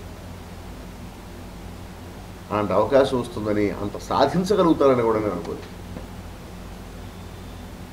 ఇదంతా ఎన్టీ రామారావు గారు ఇచ్చినటువంటి వరం. ఆ మహానుభావుడు ఆ కారణ జన్ముడు అతిశయోక్తిని కొంతమంది అనుకుంటే అనుకోవచ్చు అది వేరే విషయం దైవ స్వరూపుడు. ఆ మహనీయుడు అభిమానుడైనందుకు వైవిఎస్ చౌదరి గారు లాంటి వీరాభిమాని అద్భుతమైన దర్శకులు అలాంటి వారి సాహచర్యం నాకు లభించినందుకు కొమ్మినేని వెంకటేశ్వరరావు గారు లాంటి మిత్రులు నాకు లభించినందుకు ఈరోజు ఇవన్నీ నేను సాధించగలుగుతున్నాను. ముఖ్యంగా నందమూరి బాలకృష్ణ గారి ఆశీర్వాదం అలాగే ఆలపాటి రాజేంద్ర ప్రసాద్ గారి అండదండలు ఆయన ఆశీస్సులు. ఇంత అద్భుతమైన కార్యక్రమం జరగడానికి కారణం. ప్రపంచంలో ఎక్కడ ఎప్పుడు ఎవరికీ జరగనంత అద్భుతంగా ఏ పండగైనా ఒక్కరోజు జరుగుతుందండి. ఒక్కరోజు జరిగే పండగలు ఉన్నాయి మూడు రోజులు జరిగే పండగలు ఉన్నాయి తొమ్మిది రోజులు జరిగే పండగలు ఉన్నాయి కానీ మూడు వందల అరవై ఐదు రోజులు జరిగే పండగ నాకు తెలిసినంత వరకు ఇది ఒక్కటే అది ఎన్టీ రామారావు గారికి మాత్రమే సాధ్యమైందండి. ఇట్ ఇస్ నో డౌట్ ఇంతకు ముందు ఎవరికి జరగలేదు. ఇక ముందు కూడా జరిగే అవకాశం లేదు. ఈ శతాబ్ది ఉత్సవాలు మొదలుపెట్టిన తర్వాత మే ఇరవై ఎనిమిది మే ఇరవై ఎనిమిది నుంచి ఇప్పటిదాకా ప్రతిరోజు అది కూడా ఏంటి? పొద్దున్నే ఎనిమిదిన్నరకి. పొద్దున్నే ఎనిమిదిన్నరకి సినిమా వేస్తూ ఉంటే ప్రతిరోజు హాలు నిండడం అనేది నాకు తెలిసినంత వరకు ఈ రోజున భారతదేశంలో ఒక ఆంధ్రప్రదేశ్లో అది కూడా ఒక తెనాలిలో ఒక పెంపసాని థియేటర్లో మాత్రమే జరుగుతుంది. This is the greatness of legend NTR కొత్త కొత్త సినిమాలు థియేటర్లు నిండక. ఇది వచ్చిన రోజు. ఫస్ట్ డే థియేటర్ నిండక. ఇదేంట్రా బాబు? ఫస్ట్ డే థియేటర్ నిండకపోవడం ఏంటని భయపడుతుంటాం మేము హైదరాబాద్లో కూర్చొని. అలాంటిది ప్రతిరోజు సినిమా ఫుల్ అవడం ఏంటండి? అది కూడా ఏంటి? పాత సినిమాలన్నీ కూడా. యాభై ఏళ్ళ క్రితం రిలీజ్ అయిన సినిమాలు. ఏంటి ఆ వచ్చినప్పుడు ఫ్లాప్ అయిన సినిమా కూడా. ఏది? వచ్చినప్పుడు ఫ్లాప్ అయిన సినిమా కూడా. నేను అనుకునేవాడిని ఆ ఈ సినిమాకి పెద్దగా జనం ఉండరులే అనుకుంటే ఆ సినిమా కూడా హౌస్ఫుల్ అయింది మేడం. ఈ ఘనమైన సన్మాన కార్యక్రమానికి నన్ను ఆహ్వానించిన తెనాలి కళాకారులు కమిటీ వారు ఈ కళను ప్రోత్సహించి ముందుకు నడిపించేవారు. ఈ వేదిక మీద ఉన్న పెద్దలందరికీ నా హృదయపూర్వక నమస్కారాలు తెలియజేసుకుంటున్నాను. నేను తెనాల్లో ఇరవై సంవత్సరాలు ఉన్నాను సుల్త సుల్తానాబాద్లో నేను రైల్వే ఉద్యోగం చేస్తూ నాటకాలు చాలా నాటకాలు ఆడాను. ఏ వెంకటేశ్వరరావు గారు వాళ్ళతో పోటీగా రాముడు కృష్ణుడు వేషం రాష్ట్ర లెవెల్లో ఆడాను. ప్రస్తుతం ఇప్పుడు మంగళగిరి నియోజకవర్గానికి తెలుగుదేశం పార్టీ సాంస్కృతిక విభాగానికి అధ్యక్షుడిగా నన్ను గౌరవ ప్ర- రాష్ట్ర ప్రధాన కార్యదర్శి శ్రీ యువనాయకుడు లోకేష్ గారు నన్ను ఆదేశించారు పార్టీ తరఫున ఎన్టీ రామారావు గారంటే ఎనలేని ప్రేమ. పల్నాడు దాచేపల్లి దగ్గర మాకు ఒక పాతిక ఇరవై దాకా ఆవులు ఉండేవి మాకు. మా తాతగారు ఇచ్చినవి. ఆవులు మేపడానికి వెళ్ళేవాడు ఒక్కొక్క రోజు ఎగ్గొట్టేసి కూడా సినిమాకి రెండు రూపాయలు రూపాయి తీసుకొని దాచిపల్లి గురిజాలు చూసేవాడిని ఈ రాష్ట్రంలో ఉన్నటువంటి యాక్టర్లు మహామహా గొప్ప నటులు షణ్ముఖ ఆంజనేయరాజు గారు డివి సుబ్బారావు గారు ఏవి సుబ్బారావు గారు వెంకటేశ్వరరావు గారు కోటేశ్వరరావు గారు వై గోపాలరావు గారు పి లక్ష్మణరావు గారితో మూ మూడు సార్లు రాముడు నేను అక్కడ ఆడాను. అలాంటి గిరిజనులైనా సరే ఆ దేవుడు కార్యక్రమానికి ప్రతి సంవత్సరం ఒక ఇప్పుడైతే లక్ష దాకా ఖర్చు పెడుతున్నారు. ఈ నాటకాలకి అప్పుడైతే కొద్దిగా తక్కువ కిరాయిలు ఉండే ఖర్చు పెట్టి ఆ కార్యక్రమం చేస్తూ ఉండేవాడు. ఈ నాటకాల పట్ల తెనాల్లో నేను చాలా ఇక్కడే నేర్చుకున్నా ఎక్కువగా నేను. తెనాలి పెమ్మసాని థియేటర్లో ప్రముఖ రంగస్థల కళాకారులను సత్కరించుకోవడం ప్రతిరోజు నిత్యంగా జరుగుతుంది. ఆ కార్యక్రమంలో భాగంగా కొలన్కొండ వాస్తవ్యులు శ్రీ బిక్క శ్రీనివాస్ నాయక్ గారిని మనం ఈరోజు సన్మానించుకోవడం జరిగింది. ఈ కార్యక్రమానికి వారు ఇచ్చేయటం వారికి సన్మానం చేసుకోవటం మాకెంతో ఆనందదాయకంగా ఉంది. ఈ కార్యక్రమాన్ని ఆలపాటి రాజేంద్ర ప్రసాద్ గారి ఆధ్వర్యంలో సర్వదా ముందుకు తీసుకెళ్ళాలని కోరుకుంటూ సెలవు తీసుకుంటున్నాను. భారత మాజీ ప్రధాని స్వర్గీయ ఇందిరాగాంధీ వర్ధంతిని మండల కేంద్రమైన దుగ్గిరాల్లో ఫ్రెండ్స్ వెల్ఫేర్ అసోసియేషన్ సభ్యులు సోమవారం ఘనంగా నిర్వహించారు. మండల కేంద్రమైన దుగ్గిరాల గ్రామానికి చెందిన friends welfare association convener Tadiboina Ramaswamy Yadav ఆధ్వర్యంలో జరిగిన కార్యక్రమంలో రైలుపేట బోసుబొమ్మ వద్ద ఉన్న ఇందిరాగాంధీ డాక్టర్ వైఎస్ రాజశేఖర రెడ్డి విగ్రహాలకు పూలమాలలు వేసి నివాళులర్పించారు. అదేవిధంగా స్వతంత్ర సమరయోధులు ఉక్కు మనిషి సర్దార్ వల్లభాయ్ పటేల్ జయంతిని పురస్కరించుకొని ఆయన చిత్రపటానికి పూలమాలు వేసి నివాళులు తెలియజేశారు. ఈ సందర్భంగా రామస్వామి మాట్లాడుతూ ఇందిరాగాంధీ అఖిల భారత కాంగ్రెస్ కమిటీ అధ్యక్షురాలుగా పార్లమెంట్ సభ్యులుగా ప్రధానమంత్రిగా దేశానికి విశేష సేవలు అందించారని అన్నారు. బడుగు బలహీన వర్గాలు అభివృద్ధి చెందడానికి గరీబీ హఠావో నినాదంతో ఇరవై సూత్రాల ఆర్థిక కార్యక్రమాలు ప్రవేశపెట్టారని అన్నారు. కాంగ్రెస్ పార్టీ నాయకులు కుప్పాల శ్రీరామూర్తి మాట్లాడుతూ మహోన్నత వ్యక్తి వీరసారి దివంగత మాజీ ప్రధాని ఇందిరాగాంధీ ఎనభై నాలుగో వర్ధంతి జరుపుకోవటం ఎంతో హర్షించదగ్గ విషయమని అన్నారు.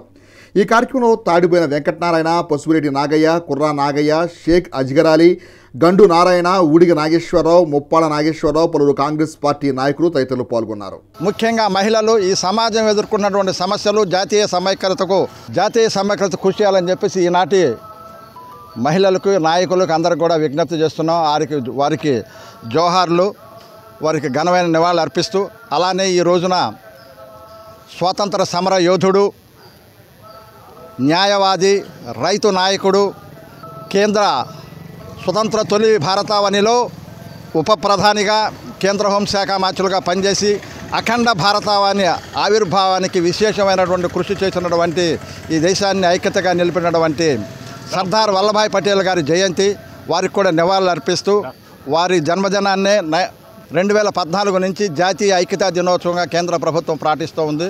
మరి వారికి కూడా నివాళులు అర్పిస్తున్నాం ఈ సందర్భంగా.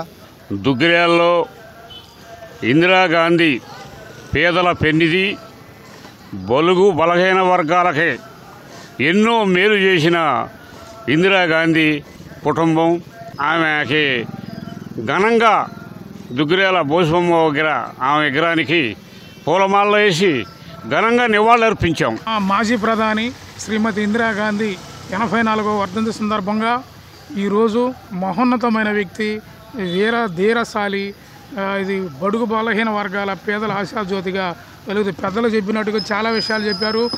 ఇంతటితో నేను ముగిస్తున్నాను. తెనాలి శాంతినగర్కు చెందిన గాడ్ గిఫ్ట్ సర్వీస్ సంక్షేమ సంఘం ఆధ్వర్యంలో వితంతువులు వయోవృద్ధులైన మహిళలకు నిత్యావసరాలు బియ్యం పంపిణీ కార్యక్రమం నిర్వహించారు. తెనాలి శాంతినగర్కు చెందిన గాడ్ గిఫ్ట్ సర్వీస్ సంక్షేమ సంఘం ఆధ్వర్యంలో వితంతువులు వయోవృద్ధులైన మహిళలకు నిత్యావసరాలు బియ్యం పంపిణీ కార్యక్రమం నిర్వహించారు. తెనాలి మండలం కొలకలూరులో జరిగిన పంపిణీ కార్యక్రమంలో గాడ్ గిఫ్ట్ సర్వీస్ సంక్షేమ సంఘ ప్రతినిధులు పాల్గొన్నారు. వితంతువులను తమ సంస్థ ఆదరిస్తుందని ప్రతి వితంతువుకి సేవ చేయాలనే సంకల్పంతో ఉన్నట్లు ప్రతినిధులు పేర్కొన్నారు.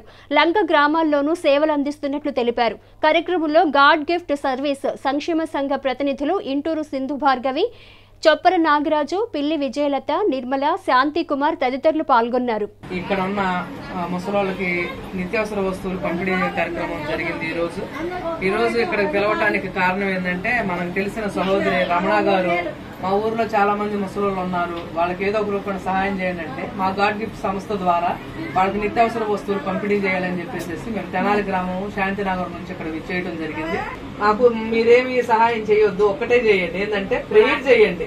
ప్రార్థన చేసి ఇంకా ఎక్కువ మందికి మేము ఇవ్వటానికి ఎక్కువ మంది మేము సహాయం చేయటానికి మేము ముందరకెళ్ళాలని మీరు ప్రార్థన చేయండి. అది ఒక్కటి మా కోసం కార్తీక మాస తొలి సోమవారం పురస్కరించుకొని తెనాలి పట్టణ మరియు పరిసర ప్రాంతాల్లోని శివాలయాలన్నీ శివనామ స్మరణలతో మారుమ్రోగాయి. వేకుజాము నుండే భక్తులు ఆలయాలకు బారులు తీరి కార్తీక దీపారాజన చేసి ఆ పరమేశ్వరుని దర్శించుకొని పునీతులయ్యారు. తెనాలి గంగానంపేటలోని శ్రీ పర్వతవర్ధిని సమేత శ్రీ రామేశ్వర స్వామివారి ఆలయంలో కార్తీక సోమవారం పూజలు విశేషంగా నిర్వహించారు. తెల్లవారుజాము నుండే స్వామివారికి విశేష అభిషేకాలు పూజలను అర్చకులు చావలి హనుమాన్ కుమార్ ఆధ్వర్యంలో పండితులు శాస్త్రోక్తంగా జరిపారు. కార్తీక మాసం మొదటి సోమవారం కావడంతో భక్తులు విశేషంగా తరలివచ్చి కార్తీక దీపారాధన చేసి స్వామివారిని దర్శించుకొని పూజలు జరిపారు. కార్యక్రమాలను ఆలయ రమణకుమారి పర్యవేక్షించారు. అలాగే స్థానిక మారిస్పేటలోని శ్రీ బాలత్రిపుర సుందరి సమేత శ్రీ చంద్రమౌళేశ్వర స్వామివారి ఆలయంలో సోమవారం స్వామివారికి ప్రత్యేక పూజలు అభిషేకాలు వైభవపేతంగా నిర్వహించారు. అర్చకులు ఫణిశర్మ వైద్య క్రతువులను నిర్వహించగా ఆలయ కమిటీ అధ్యక్షుడు గ్రంథిసేతు మాధవరావు సభ్యులు కార్యక్రమాలను పర్యవేక్షించారు. అదేవిధంగా స్థానిక రామలింగేశ్వరపేటలోని శ్రీ రామలింగేశ్వర స్వామివారి ఆలయంలో కార్తీక మాస పూజలను ఘనంగా నిర్వహించారు. భక్తులు మహిళలు విశేషంగా పాల్గొని స్వామివారిని దర్శించుకొని పూజలు జరిపారు. కార్యక్రమాలను ఆలయ ఈవో అవుతు శ్రీనివాసరెడ్డి పర్యవేక్షించారు. అలాగే తెనాలి మండలంలోని సంఘం జాగరముడి కొలకలూరు నందివేలుగు అంగలకుదురు తదితర గ్రామాల్లోని శివాలయాల్లో కార్తీక మాస పూజలు విశేషంగా నిర్వహించారు. గుంటూరు జిల్లా చెస్ డెవలప్మెంట్ అసోసియేషన్ ఆధ్వర్యంలో జరిగిన జిల్లా స్థాయి చెస్ పోటీలలో విజేతలకు బహుమతి ప్రదానం సోమవారం సాయంత్రం జరిగింది. గుంటూరు జిల్లా చెస్ డెవలప్మెంట్ అసోసియేషన్ ఆధ్వర్యంలో జరిగిన జిల్లా స్థాయి చెస్ పోటీలలో విజేతలకు బహుమతి ప్రదానం సోమవారం సాయంత్రం జరిగింది.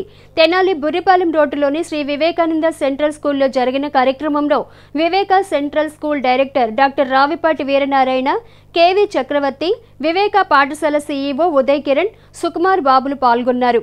జిల్లా చెస్ పోటీలలో విజేతలుగా నిలిచిన బేతపూడి కిరణ్ ఎస్ పవన్ ద్వినేష్ ఆరోన్ జోయల్లకు మెడల్స్ అందజేసి సత్కరించారు.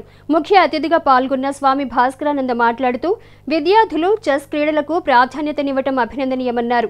జిల్లా స్థాయి విజేతలైన చెస్ క్రీడాకారులు రాష్ట్ర స్థాయిలో పాల్గొంటారని నిర్వాహకులు తెలిపారు. మరి సుమారుగా ఎయిట్ అవర్స్ పాటుగా మరి చిన్నపిల్లలు అలాగే యంగ్స్టర్స్ అలాగే పెద్దవాళ్ళు అందరూ కూడా కంటిన్యూస్గా ఈ టోర్నమెంట్లో పాల్గొని సక్సెస్ చేసినందుకు మీ అందరికీ కూడా థ్యాంక్ యూ వెరీ మచ్ అలాగే గాడ్ బ్లెస్ యూ ఆల్ చాలా శ్రద్ధగా చేశారు. ముఖ్యంగా మా Guntur district chess development association president గారు రవీంద్రరాజు గారు. మరి ఎన్ని సంవత్సరాలలో మొట్టమొదటిసారిగా ఓపెనింగ్ సెరమనీకి అలాగే క్లోజింగ్ సెరమనీకి ఉండి మరి చెస్ ప్లేస్ని ఎంకరేజ్ చేసినందుకు ఆయనకి స్పెషల్ థ్యాంక్స్ మరి ప్లేయర్స్ దగ్గరికి రప్పించి అలాగే పేరెంట్స్ కూడా పిలిపించి మరి మిగతా ఆ టీం మెంబర్స్ అందరితో కూడా చాలా చక్కగా కంఫర్ట్గా ఈ చెస్ టోర్నమెంట్ నిర్వహించినందుకు ఆ అకాడమీ వారిద్దరికి కూడా ప్రత్యేకించి ధన్యవాదాలు తెలియజేస్తాను thank you very much starting from maybe since last 10 to 12 years, uh, we got the uh, meeting, uh, first time meeting with him. There onwards, we started our journey. Wherever there is a simple program, he approaches and uh, uh, he owned me and I owned him. ఒక మాటలో చెప్పాలంటే సస్యం సంబంధించి ఏదైనా సరే మరి వారు నాగరికి రావడం అలాగే నా స్కూల్ సంబంధించి చెస్ టైప్లో ఏది కావాలన్నా సరే వారిని మీట్ అవ్వడం కూడా జరుగుతుంది మనకి నిజంగా విజయానికి నాంది చూపిస్తుంది. పేషెన్స్ అనేది చాలా చాలా ఇంపార్టెంట్ అది ప్రాక్టికల్ నేను చూసాను కాబట్టి మీ అందరూ సక్సెస్ఫుల్ పర్సన్స్ కంటిన్యూ చేసి. అంటే ఈ టోర్నమెంట్కి స్పాన్సర్షిప్ ఇచ్చినటువంటి వివేకానంద స్కూల్ యాజమాన్యం వారికి అండ్ ఈ వెన్యూ ప్రొవైడ్ చేసిన వారికి నా ప్రత్యేక కృతజ్ఞతలు మా అసోసియేషన్ కొల్లూరు చెస్ అకాడమీ వారు ఈ టోర్నమెంట్ కండక్ట్ చేశారు. వారు మరిన్ని టోర్నమెంట్స్ కండక్ట్ చేసి పిల్లల్ని వార్తలు ముగించే ముందు ముఖ్యాంశాలు మరోసారి. హెస్సీ వార్తలు ఇప్పుడు యూట్యూబ్లో. తెనాలి హెస్సీ అని టైప్ చేసి కూడా ప్రేక్షకులు వీక్షించవచ్చు. విద్యార్థులకు నాణ్యమైన విద్యతో పాటు ఉపాధి అవకాశాలు కల్పించడమే ఏఎస్ఎన్ డిగ్రీ కళాశాల ప్రధాన లక్ష్యం. కళాశాల చైర్మన్ తెనాలి శాసనసభ్యులు అన్నాబత్తుని శివకుమార్.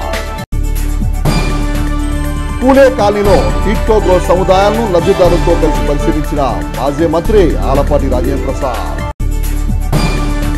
ప్రశాంతంగా ముగిసిన తెనాలి మున్సిపల్ కౌన్సిల్ సాధారణ సమావేశం.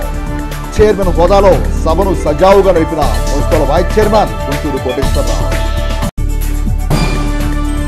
తెనాలిలో ఘనంగా ఎన్టీఆర్ శతాబ్ది చలనచిత్ర పురస్కార ప్రదానోత్సవ కార్యక్రమం